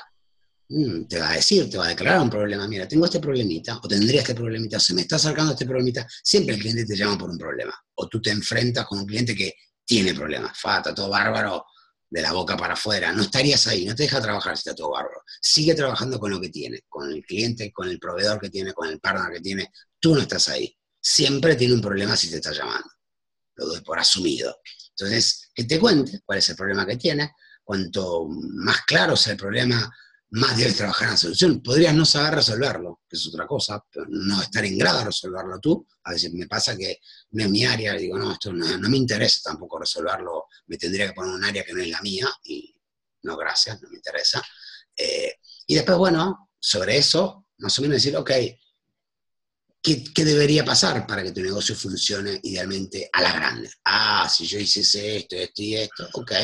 De ese cuadro general, uno tiene que poner junto esa información y decir, ok, ¿cuál es la mejor estrategia que yo puedo elaborar en base a cosas que las declara quien necesito esto? O te dice, ¿qué haría? No, no, no te dice, quiero un sitio web. No sé, necesito vender más, ¿qué hago? Bueno, entonces ahí hay que ser un poquito más bicho y seguir sacando más info. Bueno, cómo has vendido, qué usas para vender, qué medios usas para vender, qué presupuesto tienes, cuánto dinero inviertes en comunicación, en marketing, en acciones de promoción. Te va diciendo, mire, hice esto, esto, esto. No hizo nunca nada de esto, esto, esto, esto. Y digo, joder, ¿cómo comunicas tus cosas? ¿Qué, sabes? ¿A por la calle? No hice nunca nada. Bueno, empieza por, por, algo. Hice esto, esto, esto y no funciona. Muéstrame qué hiciste, cómo lo hiciste. Es decir, que es casi por deducción, ¿no? Si uno pregunta poco y se deja eh, el cliente, se, por lo general, si, le preguntas y las preguntas son inteligentes, simplemente cuéntame un poco qué has hecho y, le demuestras interés, el cliente se te, queda hablando 23 horas y media sin parar. Alguien que escucha sus problemas, te vuelves el psicólogo. Así que el cliente te da lata, pero hasta, hasta cagar. Nunca te va a faltar de parte del cliente información, porque está viendo un potencial solucionador de problemas. Si tú le, le haces las preguntas, porque estás acogiendo en el brief todos los problemas que tiene y que ha hecho, y vas con un médico, ¿no? Va tomando información para decir, bueno, por dónde diagnosticar al paciente, qué, podría tener para hacer una hipótesis de terapia. Ok, acá lo mismo, una hipótesis de terapia. Y para eso pido infodata. ¿Y tus padres que eran sanos? ¿Alguno tenía, era, tenía enfermo de cáncer? ¿Es hereditario? Sí, no. ¿Y tu abuela? No, nadie más, yo solo. Ok. Y él va tomando información para armar un cuadro general que le permita hacer una hipótesis de trabajo, una, hipótesis de, terapia, de diagnóstico diferenciada para decir, bueno, por acá no pasa, por acá habría que investigar. Y acá lo que tenemos que hacer es esto, cuando vamos a construir un proyecto, es tener mucha información de ese cliente y en el posicionamiento, si eso está claro, a partir de este momento yo podría empezar a promocionar. Y lo que promocione probablemente con menos esfuerzo puede lograr muchos más resultados. Ahora, si el posicionamiento no fue correcto, el sitio web no, Olvidemos si es más bonito o menos bonito, eso es subjetivo. El sitio web tendría que tener contenido, tendría que tener un, mensaje inicial y final que hable de ese posicionamiento y viceversa. No puede hablarle un nicho de mercado que no le interesa, porque ese posicionamiento entonces o es ambiguo y no sirve para nada. No le quiero hablar a todos, a todos no, no vale porque no puedes servir a los ricos y a los pobres, a los de acá y a los de allá, a los de Italia y a los españoles. No, un poco tienes que, no le puedes hablar italiano y castellano contemporáneamente. Eliges, vas definiendo, es como que más vas en vertical y menos vas en horizontal. Es como que ese posicionamiento es ya que te excluye, no, no estás jugando acá, pero estás jugando muy bien en un sector y en ese tienes que volver una autoridad, tienes que tener fuerza, tienes que tener oportunidad de negocios. Eso sí, entonces ahí es como que después la promoción y se vuelve casi un juego, un juego directo y consecuencia directa de lo que, de lo que el proyecto un poco fue tomando forma, forma y color. Entonces no puedes hacer una promoción opuesta a lo que tú dices, a lo que eres, a lo que haces, porque si basta que leas cómo te defines, a quién te diriges, quién es tu cliente, que la promoción, cualquier tipo de promoción que hagas, tiene que ser en línea, joder, con lo que tú has escrito, a menos que no hayas visto una puta palabra de lo que le has pedido a alguien que te escribiera o que revisara, ¿no? Es decir, fíjense cómo hay un juego previo de análisis que de ya que es una rotura de huevos que requiere mucho análisis, mucha estrategia, pero una vez que está hecho, y es como que todo corre más fácil, como que los esfuerzos de todos van a ser más recompensados, a eso me refiero, y donde tengo más posibilidad respecto a mi competencia de ya sacarme unos cuantos de encima, que hoy es una guerra difícil, porque todo el mundo tiene hambre como, cualquier hijo de vidriero. mi deber es sacármelo de encima lo antes posible y jugar realmente como competencia de las, que, de las personas que trabajan como yo, que la piensan como yo, que están en ese nicho, está bueno, está bien, es correcto, esa es, mi competencia directa, pero no está bien cuando tu competencia no es clara porque tú no te has definido bien y lo que no debe ser competencia lo es. Y el que debería ser una competencia no se muestra como tal, significa que tu cliente ideal te mira por algo que no eres. Cuando va a terminar de concretizar, tú no tienes lo que él está buscando y viceversa. Eh, cuando te vas a ofrecer a un cliente que le quieres ofrecer algo, no satisfaces tú la oferta de lo que estaba dispuesto a pagar porque no, tú no representas eso, no lo tienes. Entonces, es un trabajo de dispersión enorme. Entonces, ¿qué haces? Bajas el precio, acomodas el producto, lo mueves por un costado para el otro, lo manipuleas, porque carajo, si lo hubiese definido antes, ese producto es así, tiene color amarillo este vasito, ni grande ni chico, la copa es más alta, y vendo esto, es claro como eso. Y si lo quieres verde, no los tengo, son amarillos hechos en vidrio de Murano, que es una parte de Italia donde el vidrio está hecho a mano y lo soplan los tanos así, los soplan y hacen vidrios muy especiales y te lo hacen a mano. Y joder, véndelos así, como una artesanía. No se lo vendas como en la IKEA, porque no te lo va a comprar nadie, porque cuesta más, por decirte un ejemplo, ¿no? Entonces es como que si uno arma una estrategia de posicionamiento, todo el resto desencadena posibilidades de escenarios de, comercialización mucho más simples, más performantes y para un cliente es dinero bien invertido y lo, monetiza más más fácil, en menos tiempo y con menos esfuerzo. Y para todos los que estamos detrás, de alguna forma relacionados en los resultados del cliente, son presupuestos que llegan, presupuestos que el cliente está contento en reinvertir o presupuestos nuevos que se dan porque el cliente tiene trabajo. Si el cliente tiene trabajo, de vuelta, mueve la rueda para todos y un cliente feliz hace clientes o partners o relaciones de felicidad porque está bien, porque trabaja, porque su misión es trabajar y producir riqueza y tiene riqueza para repartir. Este es un poco, parece descontado, pero a veces es lo que menos veo descontado es esta parte del proyecto, la parte inicial, el, posicionamiento estratégico de un cliente, hacia dónde definir. Un poco, ¿se acuerdan que todavía hablaba con, en el webinar de los martes, del martes, Lau, de este tema? un poco, bueno, fíjense esto como, como todo como todo, todo se relaciona con todo, ¿no? Eh, que a veces esta parte parece como trivial, descontada. Sí, descontada, si, uno, lo tiene claro como cliente puede ser. A veces el cliente no lo tiene claro. Y a veces nuestra misión es decirle, hay cosas que tú las sabes muy bien y la tienes clara. A veces que el cliente, por necesidad, dice, yo quiero ser como esto, pero joder, tú no eres esto, no tienes las características, no tienes, no tienes esa experiencia, no tienes esas características, no tienes la, infraestructura detrás. Si depende ¿no? del negocio. En este caso es un profesional él las tiene todas, joder. Digo, Marco, esta la tienes que aprovechar bien. No te puedes poner con tres chorradas en la red como si fueses el último llegado, porque tienes una historia que la tienes que saber vender como Dios manda, porque no todo el mundo tiene la historia que tienes tú. Entonces, hasta por coherencia, yo no te puedo vestir de otra forma que eh, con un frac vestido casi de, casamiento, porque así va vestido tu figura, porque encima lo dice tu historia, lo dice tu presente y así tienes a tu futuro posicionamiento medio alto para este tipo de, cliente que quiere servir. ¿Ok? Eh, Lau, eh, L.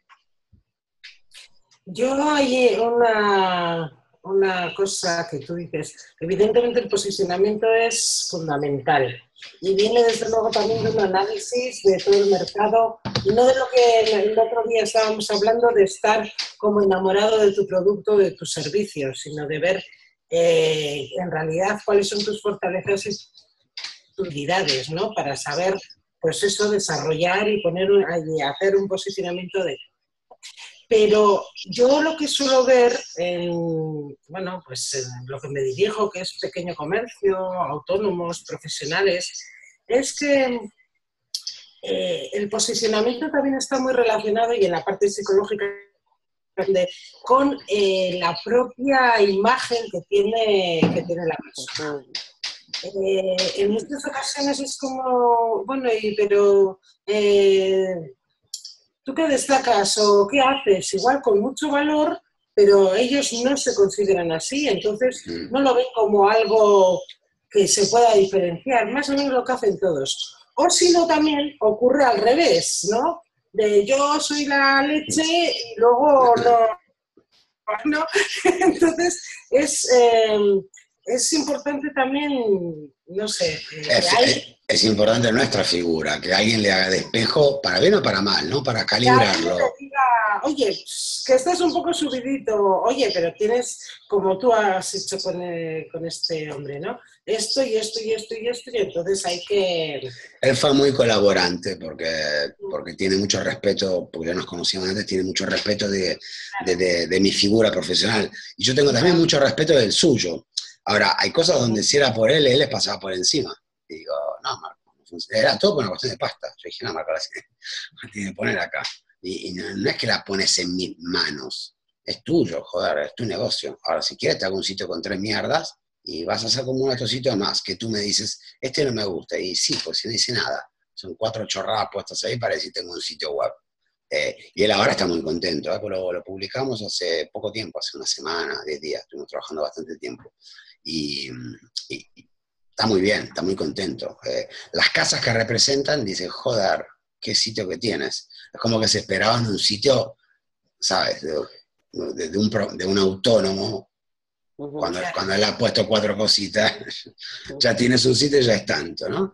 Y las, las, cuatro marcas que representan, que tienen sitios web, no son mucho más importantes del que hemos hecho nosotros para él. Entonces, es como que todo está alineado.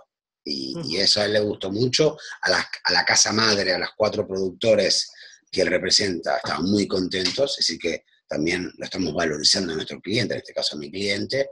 Y el cliente final cuando tiene que fijar citas, me, lo dijo él, no, joder, mis clientes ven estos, y, ya es como que me doy cuenta que quieren hablar conmigo y no me, y me quieren dedicar el tiempo que corresponde. Me dicen, bueno, ¿cuánto necesitamos de tiempo? Y yo necesitaría por lo menos 45 minutos, una hora. Así otra, ah, bueno, ok, entonces buscan la cita correcta. Eh, y esto creo que también es una parte nuestra como asesores, ¿no? De, al cliente ponerlo a registro, ni muy encima ni por debajo, lo que corresponde, o si está mal, directamente decir, no, ni por acá ni por acá, pasa por otro lado, y hay que decirlo, hay que guiarlo al cliente. En este caso fue una vía, una vía intermedia, porque el cliente ya venía con algunas cosas muy claras y otras las fuimos definiendo juntos. Fue un trabajo de posicionamiento que hicimos juntos. Es que es, es, eh, muy curioso porque podía haber llegado a ser un simple comercial. Sí, sí, sí. Eh, y comerciales hay muchos y esos son los que cinco minutos o si te, si te atienden, ¿no? Entonces, lo aparte de consultoría o de asesoramiento y, y la, la, parte de lo que muestra la página, eh, pues es, es, calidad, es, es, otra, es eso, otra posición, no es un comercial. no lo tienes que ni decir, es como que se vuelve intrínseco. Esto, es, esto es lo importante. No porque aquí es bonita la gráfica, joder, en nuestro trabajo, si no sabemos al sitio web, cámbiame un carpintero mañana.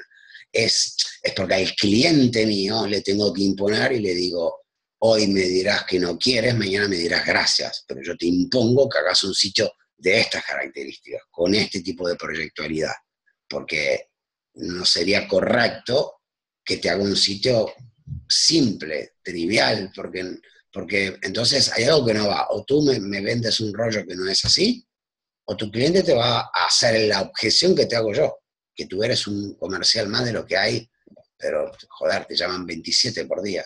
Porque las, las, los showrooms reciben 27 llamadas de 27 vendedores que todos necesitan vender. Joder, tienen ahí tan producción y ve a, ve a vender, le dice el comercial, y este llama como, como un como un telemarketer. Entonces, es como que tenemos también nosotros tener la fuerza a nuestro cliente de darle un correcto posicionamiento, ¿no? Y decir que no cuando es un no. Y yo cuando le dije no, un sitio así no lo vamos a hacer, ¿por qué no? Porque no va, Marco, porque no es así, joder porque te estaría robando y porque no es lo que quieres, porque después me, lo vas a, me vas a decir que todo el mundo te dice que eres un vendedor de humo como tantos más, y estaría de acuerdo, porque fíjate, de todos los que uno solo, que habían cosas que no me gustaban, pero digo, este a mí me inspira, este lo llamaría, a los otros no vale una mierda, son todos vende gato, vende humo, venden lo mismo y no dicen nada. Este ya era muy, muy, muy de una persona. Era, si el nuestro era Marco está como hasta, hasta como rostro una sola vez, el otro era él omnipresente. Pero tenía mucha fuerza. Me dijo, este joder es un dragón. Pero era, parecía un, un vendedor, un, vendedor de televisión, ¿no? De eso que hacen las televentas, porque tenía mucha presencia escénica en, en el sitio web, que había, se mostraba, tenía un equipo atrás, pero tenía mucha prestación. Yo digo, a este le confío, joder, tengo ganas de conocerlo. Me inspira conocerlo. Estaba hecho en blanco y negro, está bien, tiene una buena gráfica, mensajes fuertes, agresivos, como tiene que ser. Ahí eres tú, joder. O, este es él solo con su esposa y un equipo atrás, pero son él y su esposa. Y bueno, pero está bien posicionado, está bien vendido. Y cuando está bien, está bien, no es porque no lo hice yo, lo hice yo. Si está bien, está bien, si está mal, digo, lo puede haber hecho tu, padre o el papa, está mal, joder, no, no me dice nada, ¿no? Lauri. A mí, eh, bueno, ya han dicho de, todo y estoy de acuerdo. Me quedó una, frase que dijiste, eh, puertas especiales para, clientes especiales. ¿No? Eh, que habla también del posicionamiento. O sea, su puertas especiales coherente con lo que ofrece y va para determinado cliente, ¿no? Y apunta a determinado cliente, cuando hablabas de las puertas y demás. Sí, sí. Y esa frase me quedó, me quedó hasta el momento en la cabeza, si no me lo hubiese olvidado, dice que yo soy que, se me pesca, pero esa frase me quedó. Eh, y eso para mí es eh, el, a ver, dejarse asesorar primero, que es muy importante, el dejarse asesorar. Eh, por más que tenga confianza en vos, eh, puede conocerte o no, pero tiene confianza, ¿no? En otra persona para decir, ok, la, la crítica, esto va por acá, esto funciona por acá, esto no funciona por acá, y tus puertas que son especiales, o sea, hay una coherencia entre lo que ofrece él y ese posicionamiento con, con el producto, con, con el cliente que va a vender, que va a comprar. Y a quien le vende. Esa, esa es la palabra clave, la coherencia. Tiene que ser coherente. Posicionamiento tiene que ser coherente. Ujú. Si no, no es un posicionamiento, es me gusta este estilo. Ok. ¿A quién, a quién le interesa el estilo o no el estilo? O, alguien me dice, no me gusta la gráfica que usaste, pero a mí qué me importa si te gusta o no te gusta. Tiene que ser Claro. coherente, un poco todo el, todo el andamiaje, todo el proyecto tiene que ser coherente. Después está quien de estilo más clásico, estilo más moderno. Son estilos, como me puede gustar más que está vestida Laura respecto a Elenca, basta que tenga coherencia. Son estilos, ¿no? Quien es clásico, quien es más elegantona, quien es más regresiva, quien se viste más, eh, no sé, son estilos, pero tiene que haber igual una coherencia, por edad, por tipo de corte de pelo, por accesorios, tiene que ser coherente tu personaje con cómo te viste, cómo hablas, y ahí es donde al final un proyecto, el cliente siempre le pone esta, esta, esta carga emocional, digo, la emocionalidad subjetiva de la gráfica es muy subjetiva, porque lo que a mí me gusta puede no gustar de ti, pero yo lo encuadro rápido, qué es lo que le puede gustar a un cliente, ya lo veo cómo está vestido, ya sé lo que le va a gustar y qué es lo que no va a gustar. Lo mido con, dame dos, tres cositas que te gusten y ya también lo vuelvo a encuadrar. Difícilmente la chingamos cuando tengo que vestirlo. Eso eh, no, no lo veo y tampoco es el proyecto vestirlo, es, es lo que hay detrás del proyecto. Las palabras, el mensaje, la construcción de, de- de la coherencia eh, de- del contenido, de, de cómo el cliente me está transmitiendo que hay un problema y cómo lo plasmamos, no solo con imágenes bonitas, si las tengo y si no las busco, sino con palabras y si no las escribo, y si no las refuerzo, y si no, que en pocos puntos quede claro quién soy, qué hago, a quién puedo servir. Y eso, cuando le haces esas preguntas, y si no las sabes, piénsala bien. ¿Quién eres? ¿Qué haces? ¿A quién vas a servir? ¿A quién no vas a servir? Si eso lo hacemos, y joder, 50% del trabajo está hecho. Después es vestirlo, el que hace esto de trabajo lo sabrá hacer como el que, no sé, el que produce puertas, sabría hacer lo que a mí me llevaría 10 años, producir una puerta o no, sé ni, sacarla de su lugar. Bueno, ok, es el oficio de cada uno, ¿no? Bueno, alguien, alguien eh, termino la última parte. Si hay alguien en, en- en- en arriba ya en Facebook o acá en la sala que no vi nada, eh, pregunten. Este es el momento, si no, yo sigo para adelante y tiro. Bueno, eh, para cerrar un poco eh, esta parte acá de la presentación, ¿no? Ujú. Ok. ¿Qué es lo que, desde mi punto de vista, puede ser interesante a la hora de armar el posicionamiento de un proyecto? ¿no? El valor agregado de tu oferta. En este caso, mi cliente es ser un referente en el sector por marcar tendencias. Tiene que marcar una tendencia porque el productor que hay detrás de él, el que le ofrece los productos que a él le da la posibilidad de revenderlos, tiene que tener un benefit, un diferencial que lo vuelva a él entre comillas, un poquito más interesante, más codiciado, ¿no? Y en este caso era asesorar al cliente en productos de alta gama, porque él tendría que volverse un asesor, que es lo que él sabe hacer, y asesorar, asesorar técnicamente, asesorar tendencia de mercado los colores que se vienen este año. Me decía, este año van, se van de moda las puertas rojas y no sé si azules, colores intensos. Joder, yo no pondría la puerta de entrada de casa de color rojo fuego, pero bueno, este, sí, el que es de moda va a poner ese tipo de colores o azules intensos. Ok, bueno.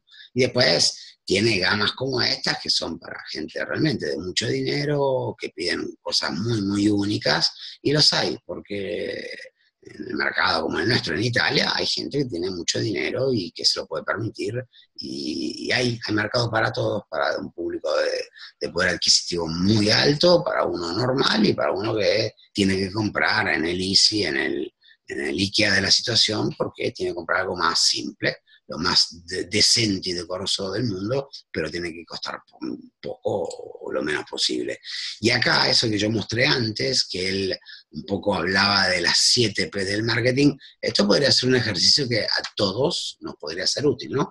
Acá habla un poco de las 7 P del marketing que están por producto, precio, promoción, el lugar, que es la location, en italiano porque posto significa un lugar, el packaging, el posicionamiento y la P de persona. Yo los invito a que saquen las otras seis y trabajen en la P de ustedes mismos, en la P de vuestro cliente, en la P de persona, en la P de esa persona que está buscando ser distinta en algo absolutamente a todos, pero que no haya uno que sea exactamente igual a él porque el riesgo es que todo esto no sirva de nada si nosotros no nos posicionamos y no nos diferenciamos correctamente. Esto tal vez es una de las cosas que a él más me gustó. Él eh, eligió una foto, yo le dije, pásame fotos tuyas que quiero que te vean, quiero que te elijan también, porque encima estéticamente, desde un punto de vista visivo, es una persona agradable, es una linda persona.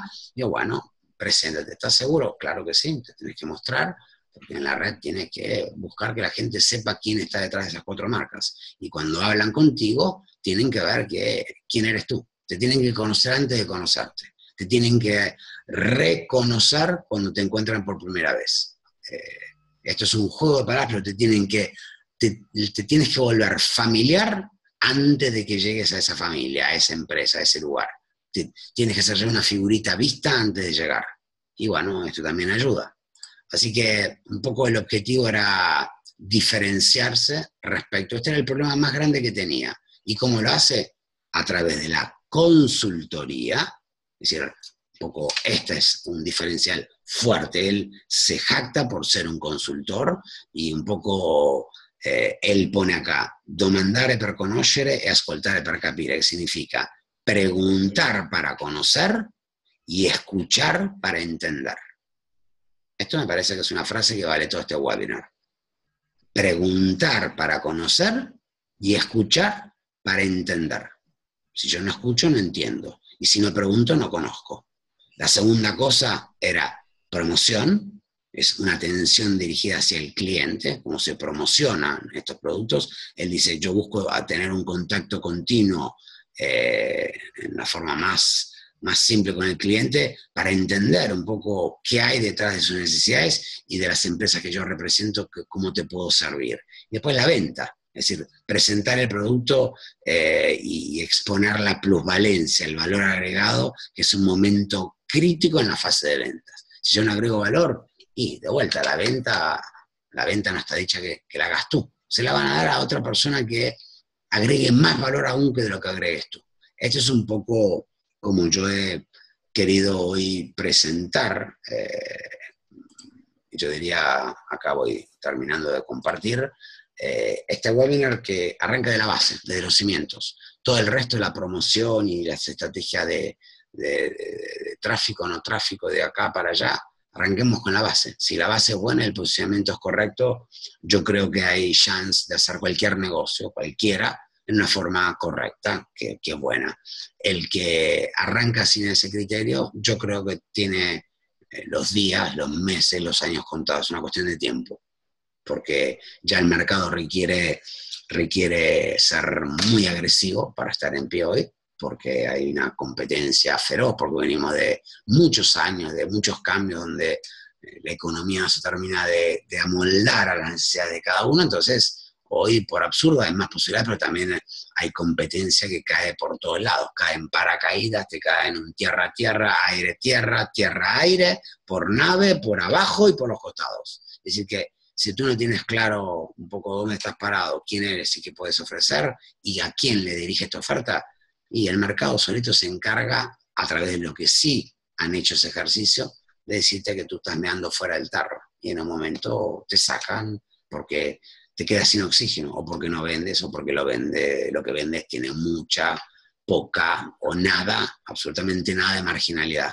tiene poco valor y ahí es donde tu actividad cierra, que seas un autónomo, una pequeña empresita o una mediana empresa, es lo mismo, al revés, tienes costos más altos y el, el, default lo ves en menos tiempo porque los costos crecen rápido y si el facturado baja, esa tijera se cruza rápido en una curva muy alta y cuando caes, te caes, te rompe todos los dientes y todo el cuerpo porque los costos levantan rápido. El consultor que tiene que maneja costos fijos más bajos, pero necesita poner algo, ¿no?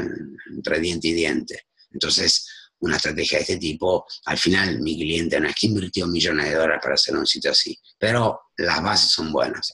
Invirtió lo que yo le pedí, el sitio tuve los recursos para producir un proyecto como yo creo que puedo servir bien a su negocio y él va a servir bien a su cliente. Es decir, que si, si hay una cosa correcta, todo, todo fluye, después, todo, después se reparte para todos, se distribuye para todos, hay para todos. Si yo hago lo que el cliente me pide y no tengo claridad, poco me das, poco te doy y poco le darás a tu cliente. Tú no ganas, yo no gano, tu, tu productor no gana. ¿Sabes lo que pasa? Que tu productor te va a dar una patada en el culo y te saca la zona y pone a otro que venda mejor. Es así, hoy el, el mercado un poco va por resultados, ¿no? busca algo que funcione. Entonces, eh, los esfuerzos que hacemos tienen que valer la pena. Esto es un poco lo que yo quería dejar hoy como, como, como entrenamiento, chicos. No, no, hablar de cuánto facturó, sino la base, el ABC, que para mí es más que el ABC. Se vuelve tal vez uno de los ejercicios más difíciles de todo. Tener claro quiénes somos y a quién apuntamos, que es trabajar la identidad, que parece descontada y no es. Por eso requiere mucha ayuda como el insight lo hago yo mismo para conmigo mismo, pero cuando el cliente lo hace con alguien que lo hace pensar, se vuelve realmente un trabajo de equipo, porque el cliente conoce mejor que nadie, yo no sé nada de su producto o servicio, nada. He tratado clientes de esta industria, pero, ok, pero no sé nada, yo no sé nada de carpintería, no sé nada de herrería, no sé nada de puerta de ventana, no es mi negocio, no, no vivo de eso.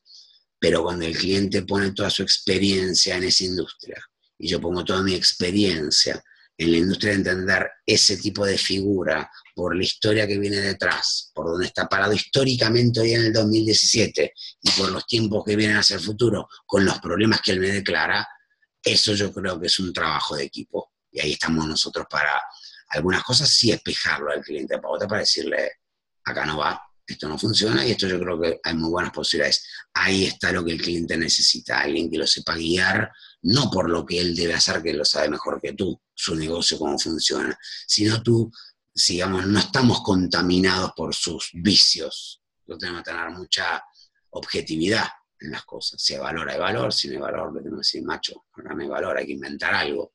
Y si hay cosas buenas, esas van valorizadas. Y ahí sobre eso se construye una estrategia, ¿vale? Así que por mi parte, chicos, eh, esto es lo que quería compartir con ustedes alguien... No, está, está, genial y la verdad que es muy útil para todas aquellas personas que todavía hoy, eh, y creo que mm, lo siguen viendo, son la mayoría, hablando de, pymes y autónomos y demás, que lo, lo siguen viendo como una situación como muy lejana, como, como que no se aplica a ellos, ¿no? Como que no lo ven factible. Eh, más allá de que otro lo esté haciendo, y dicen, por ahí piensan, no, no es factible para mí, no es ese proyecto para mí, ¿cómo puedo resultar para mí? Eh, y mientras primero definas tu persona, ¿no? Como vos decís, y para, vale para todos, para tu persona, y te comuniques con un experto en el tema, por ejemplo, yo creo por ahí puede comenzar una relación eh, de negocios totalmente. Y quédense con la P de persona, él me encantó. Eh, eh, esta parte del marketing lo escribió él. Eh, se ve que siendo él un consultor y, viene, a mí me gusta estas historias que a mí me fascinan, ¿no? Viene de una quiebra, una quiebra de familia. Es decir, que él viene de tres generaciones que vivieron de esto, no es culpa de él absolutamente, fue el mercado que fue involucionando y llegó un momento donde buscamos, a mí yo quise trabajar con él, gracias a Dios no me metí, no embarqué porque me hubiese quedado, me hubiesen dejado un agujero grande. Eh, pero bueno, un mercado que cambió las reglas de juego y la empresa era demasiado grande para adaptarla a los cambios que el mercado requería. Empresa de familia, muchos hermanos se ponían de acuerdo en el management hacia dónde, hacia dónde enfocarla, y él cuando se abrió dijo, bueno, yo esto no lo quiero. Y él fue muy inteligente, se abrió, dijo, no, yo no voy a hacer más nada, vendió sus cuotas, lo que quedaba ahí, y se abrió por su cuenta, tuvo mucho coraje y, y sabía que tenía que ahora jugársela por su cuenta, por su propio valor, por el valor que él podía agregar al mercado. Y creo que lo demuestra, tiene mucho valor para dar, y si hay valor, es empaquetarlo como Dios manda, en la forma correcta, más valorizante hacia nuestro cliente, y a darle caña. El resto, el mercado hace su juego y él, sabe hacer el suyo. Yo creo que ahí no hay grandes, grandes problemas. Por eso, eh, trabajenlo a esto del posicionamiento, trabajenlo bien, correctamente, que ayuda mucho a mejorar después el resultado, que es la consecuencia directa de un buen posicionamiento. Y a veces el problema está más en el posicionamiento, no tanto en el producto, en el servicio. Eso, el producto es eso, el servicio agrega, le saca, le pone, eh, está relacionado con ese producto. A veces el posicionamiento te permite agregar un montón de cosas que eh, no te ha permitido hasta ahora porque estás posicionándolo en una forma equivocada. Entonces, o, abandonas ese negocio porque el posicionamiento no es premiante y tienes que buscarte algo que te posicione en otro lugar, que sea más en línea también con lo que tú tienes para ofrecer, por tu historia, por tu trayectoria, por lo que sabes hacer, por lo que te gustaría hacer, por una exigencia de mercado latente que está faltando satisfacer y te colocas ahí para resolver eso y tienes el expertise o conoces gente con esa expertise y podrías hacer de puente, es decir, hay que leerlo un poco por todos lados al mercado, ¿no? De dónde viene, tú que estás en el medio para intermediar y entre la compra y venta tiene que haber algo que haga de nexo, que en este caso por general es la empresa, entre alguien que produce, alguien que compra y uno que por general intermedia, que revende, que, que, no siempre es propietario, revende de cosas de terceros. Bueno, este es un ejemplo, me parece que cualquiera que vea este webinar podría ser este tipo de, oficios. Que sea después dirigido a, personas que están acostumbradas a este tipo de negocios, bueno, negocios en red no importa, sigue hablando de posicionamiento, es un posicionamiento como el mío. Eh, el mío, mi posicionamiento es, soy un hombre de comunicación, marketing y proyectos digitales. No me vas a escuchar hablar de otra cosa, ese es mi posicionamiento, de ahí no me salgo. Después, si hablara con ustedes en otro ambiente, por ahí te digo otras cosas, pero no lo diría en el ambiente de marketing, comunicación y proyectos digitales que haga otra cosa más que esto. Ventas está relacionado a esto, comunicación y marketing soy un publicitario y asesoría. He hecho esto por los últimos, últimos tantos años. Entonces, de esto hablo, de esto me ven y de esto, miren, yo para cerrar un poco, me ha pasado mucho ahora, ahora menos, porque ya casi vendo el 80%, el 90% de mis proyectos son, son digitales, ¿no? Pero hasta los últimos 4 o 5 años, el cliente que me, me hablo de la agencia de publicidad, ¿no? El cliente que me conocía, se ve que era, era tanto lo que yo transmitía de, de digital, de internet, de terminología, de, no sé, un poco de, de mi forma de pensar y vivir, que si no me preguntaba algo en términos publicitarios, por ahí no llegaba a entender, ni sabía, ni yo me había ocupado de comunicarle que hacía campañas gráficas publicitarias, que soy un publicitario, que la agencia de publicidad tiene un departamento web digital y otra parte que es donde nace la agencia, que es una agencia de publicidad con servicios de gráfica y comunicación tradicional. Y por ahí, pero no hubiese preguntado en mi puta vida si yo podría llegar a crear una marca y aparte hacerle un catálogo y aparte hacerle una campaña de afición, qué sé yo, cosa más de gráfica publicitaria, ¿no?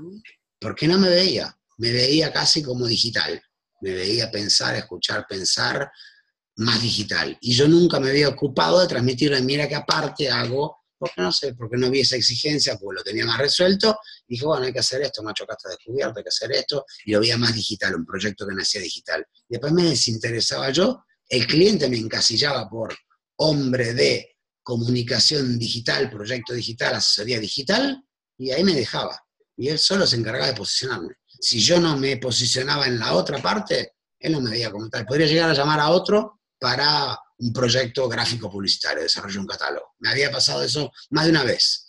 Y bueno, está bien porque, ok, pues soy yo el primero que me estoy equivocando, pero el posicionamiento es ese, el de cada uno va, va incluyendo algunas cosas y te va sacando el juego de otras. Y eso me parece que es bueno, ser muy vertical. ¿Ok? Bueno, chicos, si nadie tiene mm, nada más. Eh, sí, yo quiero saber, ¿el jueves fue Elenca? El eh, jueves. de, de, qué vas a hablar, Ele? Eh, no lo sé todavía. no lo sé todavía. Bueno, tienes una semanita a pensarlo. Has puesto el listón muy alto tú. No. no, no.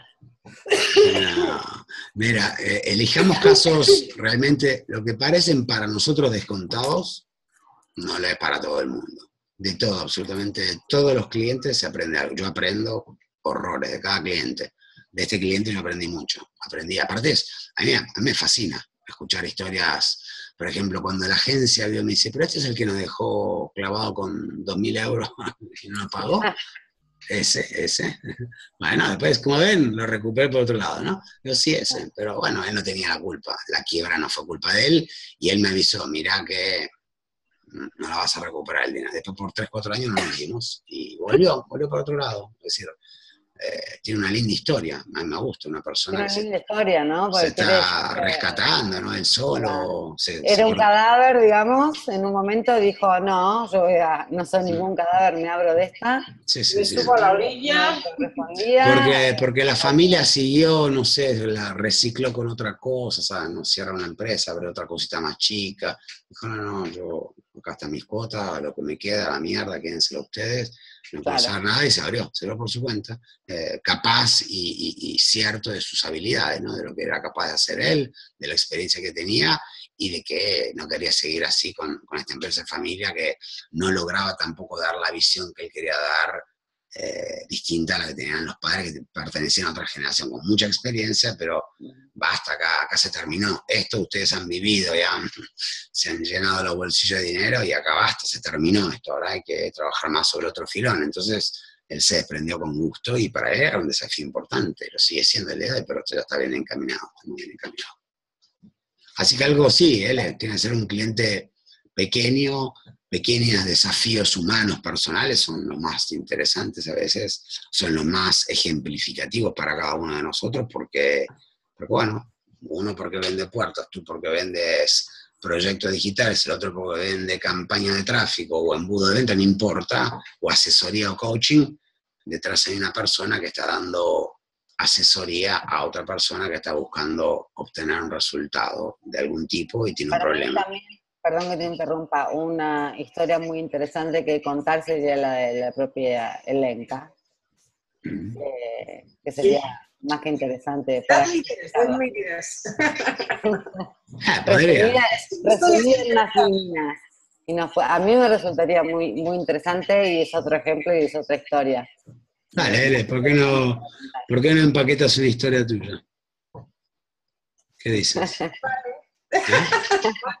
Pues hablaré de mí. Empaquétala, como Dios manda, le ponen los ingredientes justos. Eh, y sabes que son historias. Ahorrate la parte de, bueno, empezó cuando yo nací, tenía. No comencemos de los dos años, comencemos. No, la, pregunta, ¿qué pasó en tu adolescencia? No, esa no, Sí, sí, sí, sí. A mí, a mí eh, personalmente, y sé que a mucha gente también, a mí personalmente me gustaría escucharla, me gustaría que la puedas enlatar en, un, en un webinar y contarnos un poco. Totalmente. Bien, vale. Vale, pues es una idea perfecta. Vale. El jueves que viene, ya está. Genial. Bueno, chicos, eh, el jueves que viene toca el Elenca. Eh, por mi parte, les agradezco este espacio que han dedicado a los que ven ahora, a los que verán después más tarde. Estuvimos acá con Cristian, que habló poco, pero siempre el Cris atento y dijo una cosa importante, esto que hace Gucci, eh, y fíjense cómo las cosas que tienen valor igual se venden en la red y cuando hay descuentos es porque lo querían ya de antes, pero no podían pagarlo y esperan los descuentos. Eh, gracias a Lao por su participación, a Elenca también por su participación. Pues me escuchó, me tocó escuchar. Yo reflexiono después. Sí, sí, sí, yo sé, yo sé. Yo analizo. Eh, Cristian analiza.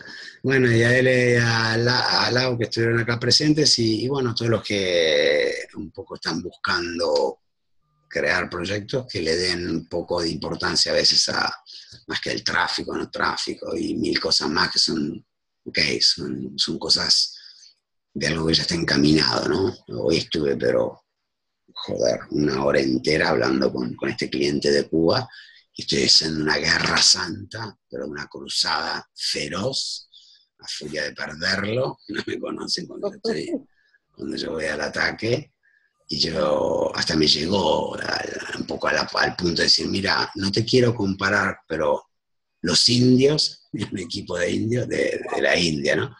Los indios son súper expertos en esto, en, en SEO. No te quiero comparar, pero mira, te paso la oferta que me pasaron.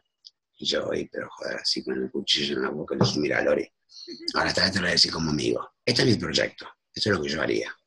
Tu posicionamiento está mal, yo no voy a meter mano a tu proyecto, porque lo hicieron, no lo has terminado todavía, estás hace años haciendo, rehaciendo tu sitio web, no voy a meter mano, lo hablé con el programador, no quiere meter mano a eso, porque es un nido de gatos y no sabemos ni, en qué estamos metiendo. Estoy dispuesto a, a- por la mitad del dinero arranco de cero, pero a modo mío. Me la juego yo, con mi programador, con mi equipo, y decido yo la regla del juego, con qué sistema, de qué forma lo, lo arranco, de qué forma lo voy desarrollando y qué creo yo que puedo traer como resultados con ese dinero. Así que quieres trabajar con los pakistanes, con los hindúes, trabaja con los hindúes, que trabaja conmigo, hablemos, es por dinero, pero me adapto. Eh, los paquis te piden eso, sí, se puede trabajar por ese dinero, ok, pero a, a modo mío. Mm, No, no me embarqué, así tuvimos una hora, bueno, pien- dije, piénsalo ahora. Y me dice que piensa, así que, y de vuelta, ¿por qué peleaba? Y, pero ¿qué vas a hacer? Me abandonas ese sitio que no lo he terminado, joder, y es el 100% de mi negocio. Claro. Y digo, pero Lorenzo, joder, si por 10 años has trabajado mal, ¿qué vas a trabajar por esos 10 años mal porque tienes ca- 300, 300 productos metidos ahí dentro y yo tengo que enderezar un sitio que está construido lógica programador, pero nadie lo, lo pensó proyectualmente el lado orgánico, no tiene una semántica correcta, que vas a seguir trabajando ahí, enderezar 300, joder, pero e- es enderezable. Dije, no, aunque quisiera, yo con, con- no lo hago porque por principio digo, ¿para qué voy a empezar a enderezar todo desde cero? Desde, no es desde cero, porque no lo has terminado, pero comienza otro proyecto. Entiendo que no será eh, lo que tú querías, porque has puesto, porque no terminas, por todo lo que quieras, pero no sigo adelante con esa línea. Me parece más coherente arrancar de cero. Arrancaré con otro dominio y si en un momento con, con esto funciona bien, de a poquito te voy limpiando. Todo lo que está acá te lo voy poniendo acá y esta hacemos un switch. Me llevará tiempo, será. ¿Qué- qué- qué Hay muchas hacer? empresas, eh, acá en, bueno, digo Estados Unidos, porque estoy acá hace bastante tiempo, que lo que te muestran a veces es tipo el, la vie- eh, vieja versión, la nueva. La vieja versión, la nueva, como la refrescada, ¿no? Sí. La que renació y demás.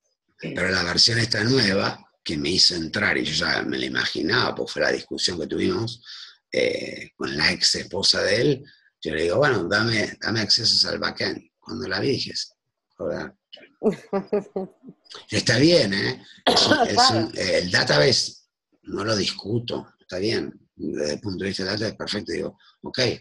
Pero Eh, le dije hoy una cosa que le hizo la única de todo mi enojo y la forma que teníamos de discutir en un momento estaba por cortarme él varias veces, porque estaba bastante hoy, estaba bastante agreta, ¿no?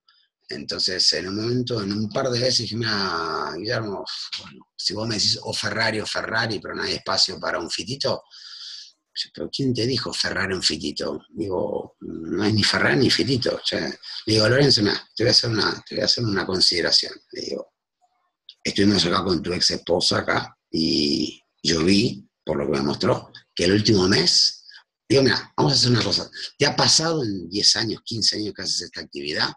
Eh, porque es la percepción que tienes. Yo he hecho este negocio hasta el día de hoy y, y- y tú me quieres decir cómo carajos es un negocio. Absolutamente no. Te digo que esto que está así no va bien. Te digo, mira, te voy a hacer una reflexión, a ver si te ha pasado. ¿eh? Tú dime simplemente si te, si te resuena acá en este, en este derecho. ¿Te ha pasado alguna vez que, eh, tú trabajas de dos formas. El sitio viejo orgánicamente no gira. Ok, has trabajado con campañas pagándole a, Google 800 mil euros por mes. Y hasta ahora te fue bien, hasta hace unos meses. Correcto, me dice sí. Ok. ¿Qué pasó en el último mes? Que le has puesto mil pavos. Porque eso fue lo que vi que me mostró tu ex, tu ex esposa y vi el dinero puesto, 950 euros. ¿Cuánto has convertido de eso? Nada, me dice. Ok. Ahora, ¿te ha pasado alguna vez? Orgánicamente, el viejo no va. Cuando tengas nuevo, el sitio nuevo, así como está, hay que enderezarlo, joder, y hay que ponerle mucho tiempo y mucho trabajo. Para así como está hoy, no te va a funcionar. Así que ese jugador está fuera. Te queda SEM, campaña de tráfico pago en Google. Cuando yo hago un sitio, mi primer cliente no es ni siquiera tú, es Google, joder. Porque al primero que te tienes que servir como un negro es a él. Y de paso a tu cliente, tú que me pagas a mí. Ahora, ¿te ha pasado alguna vez que Google, San Google, se le ocurre en tu nicho, que es travel, viajes, turismo, está todo mezclado ahí, hotelería, auto, todo mezclado. Es un nicho, el más competitivo que puedes buscar todavía en la red es ese. ¿Te ha pasado alguna vez que se le canta el culo a Google de cambiarte una variable y te dice, señores, a partir de hoy, y es así con el codo y te, bar, te barra esa variable y tú arrancas como de cero, como si no existieras? Sí, ¿te la acuerdas a esa variable? Cuando Google dijo, por ejemplo, mira, ahora a partir de ahora le voy a empezar a dar un poquito más de, de importancia a los que ponen recensiones, porque al final el web 2.0 es a mí me interesa tres huevos lo que me dices tú. Yo quiero ver qué dice la gente de ti. Y todo lo que orgánicamente estaba posicionado bien, con la nueva lógica del algoritmo de Google, lo he visto yo, eh, con mis ojos a todos mis clientes, estaban acá todos y un día hicieron plum, se apagaron. Como si en su puta vida hubiesen trabajado orgánicamente en nada. No estaban para Google. Y estaba Expedia, Booking, TripAdvisor, todos. Y digo, mis clientes, ¿qué pasó? Hasta ayer estaban. Me llamaban, che, ¿qué pasó con esto? Y no está más y no me encuentro. Y digo, Preguntémosle a San Google, joder. Estornudó y estamos todos casi muertos de broncopulmonitis. Hijo de puta, se le ocurre estornudar y tú te quedas en bolas, en nada. Digo, Lori, en algún momento, si Google te cambia programa, no digo estornudar, se le cae la gotita de moco, tú no comes. Orgánicamente no, no funciona. El SEM el último mes, nada. Le has abierto la canilla y no convierte ni a ganchos. Y yo lo pensaría muy bien. Entonces, reflexiona lo que te digo. Estás, jugando border. Y si tú no vendes que es 100% digital a través de la red, tú vete a buscar otro, otra profesión. Porque tu primer cliente es Google. Él te trae tus clientes. Él es el que tú le has pagado y hasta ahora te ha ido bien. Ahora, que te ha llegado bien hasta ahora significa que por todo el resto de tu vida te va a ir bien empieza a cambiar cosas Google en su algoritmo y cosas que antes le iban bien, ahora te dicen un poco menos, a momento te dicen, no me van, pero ni siquiera me van bien y no solo me van bien, no te quiero y te saca. ¿Y de qué vives, joder? ¿Cómo haces tú para atraer gente a tu negocio y venderle servicios? Si tu primer cliente es Google, él tiene que mostrar lo que tú haces para, para vivir. Entonces, es como que las guerras son al final de qué cosas, de posicionamiento, de vuelta posicionamiento, cómo tienes que trabajar, cómo tienes que producir el sitio, de qué tiene que hablar tu sitio, cómo tienes que presentar ese contenido, y no si el database, no pasa, no pasa por los huevos. Este sitio así, joder, está pensado con una lógica de programación y hay que hacerla pensando en una lógica de una estructura orientada a los motores. Él es tu cliente, no el database, cómo funciona, que me lo paso por los huevos. Es decir, que fíjense como un cliente que hace 15 años está en esta industria, estoy luchando con un cuchillo en la boca para decir, joder, pero es tu negocio, pero no te das cuenta que esto ha cambiado, que no puedes trabajar así, que no puede alguien producir un proyecto pensando en programación, cagándose absolutamente de todas las lógicas orgánicas que un motor pide para poder entender de qué habla ese sitio. No, no te puedes cagar y pasártela por los huevos porque es tu negocio, yo me, yo me cago. Digo, entonces, ¿cómo podemos trabajar? Si quieres, te hago al revés. Nosotros hacemos consultoría y te decimos qué tienes que hacer. ¿Sabes cuál es el riesgo? Que tú no puedas enderezar lo que le diremos a tu programador que enderece, porque es enderezable. ¿Para qué voy a hacer todo este pasaje de mano? Yo te digo a ti lo que tienes que hacer. Él lo hace. Después nosotros revisamos de vuelta. No está mal, vuelve a hacerlo. Y va a ir y vuelta, ir y vuelta, Cuba, Italia, y Cuba. No, arranquemos de cero. Lo piensas como Dios manda, como tiene que hacer no al revés, que lo hago, me cago en Google y después veamos cómo lo adapto a Google. No, se piensa en lógica motor. Qué pide un motor, cómo pide la estructura, cómo tiene que ser el código, qué tiene que tener, qué no tiene que tener, cómo fue pensado, y así lo piensas, no es que después lo piensas, ahora lo piensas. Te digo, me parece mejor que yo lo piense así, ex nuevo, que no trate de enderezar 350 páginas en tres idiomas, porque no lo voy a tocar, porque el riesgo que no lo logre tocar y no me alcanzará el dinero para renderizar todo, que jamás quedaría igual que como si hubiésemos concebido desde cero. Entonces, esta es mi puja, ¿no? ¿Y qué es? Posicionamiento, de vuelta. Está mal pensado el proyecto, te has posicionado mal, no le estás cagando ni siquiera a San Google que te ha dado de comer hasta ahora, lo estás ignorando, como si fuese un option, joder, es el que te da de comer, pero no te entra en, el mate eso. Y fue la lucha mía de hoy al teléfono, todavía no cerré, eh, ni me sacó a patadas en el culo, ni yo cerré el juego, pero estoy negociando y me punto sobre el posicionamiento. Eso es todo. Sin eso estás despachado, macho. Estás afuera del juego. Y ojalá que me equivoque, pero sé que no me voy a equivocar. Así que bueno, la puja ahora si son los indianos que dicen que le enderezan el sitio, te van a sacar pasta y para mí no los levantan, o nosotros que hacemos un sitio nuevo. Estamos bien. Indianos contra italianos. A ver quién gana. Me cago en la puta madre trabajando contra los paquis. Vamos a darle caño. No, vos tenés que hablar italiano con una túnica de un Ahí tenés todo hecho. claro, los, paquis están empezando a hacer pagar bien, ¿eh? los indianos. Sí, sí, claro. No es que tampoco pedían monedas. ¿eh? Bueno, por, suerte, por suerte estaba bien. Era un fee de mil euros por mes. bueno, no me, no me, dijo, no me dijo que por mil euros hacía todo el sitio. ¿no? un fee de mil euros por día. Bueno, a ver, veamos cómo lo puso, cómo lo describió. Así que hasta los paquetes le ponían, le ponían como cuatro personas, cuatro personas, un programador y un project manager, y ahí llega. Basta, no me rompamos la voz. Yo trabajé bastante con, con Indus y, trabajan muy bien. Eh, el, tema es el precio. Eh, eh Ah, lo están subiendo, ¿eh? Están subiendo. Yo vi el FI, el FI era de 950 dólares por mes y si hacías paquetes por trimestre, por semestre, por un año, iba a ir, parrías todo completo, pequeños descuentos y algunas palabras claves que iban subiendo y te iban dando más, más servicios. Si no era consultoría, asesoría, optimización. en cualquier momento vas a tener otra clienta porque Interface me tiene realmente, sorry, pero ya es una cosa, cualquier cosa, voy a hablarle a, Google, a cualquier cosa, pero ya es una cosa que, así que en cualquier momento me voy para el otro lado. Y hay que buscar variantes. Sí, claro. ¿No te vas a poner en contacto con...? Ya, ya lo he, ya lo he hecho, ya lo he Llegan a dar una posibilidad de apelar porque parece que no sé qué, no sé qué. Pero bueno, veremos.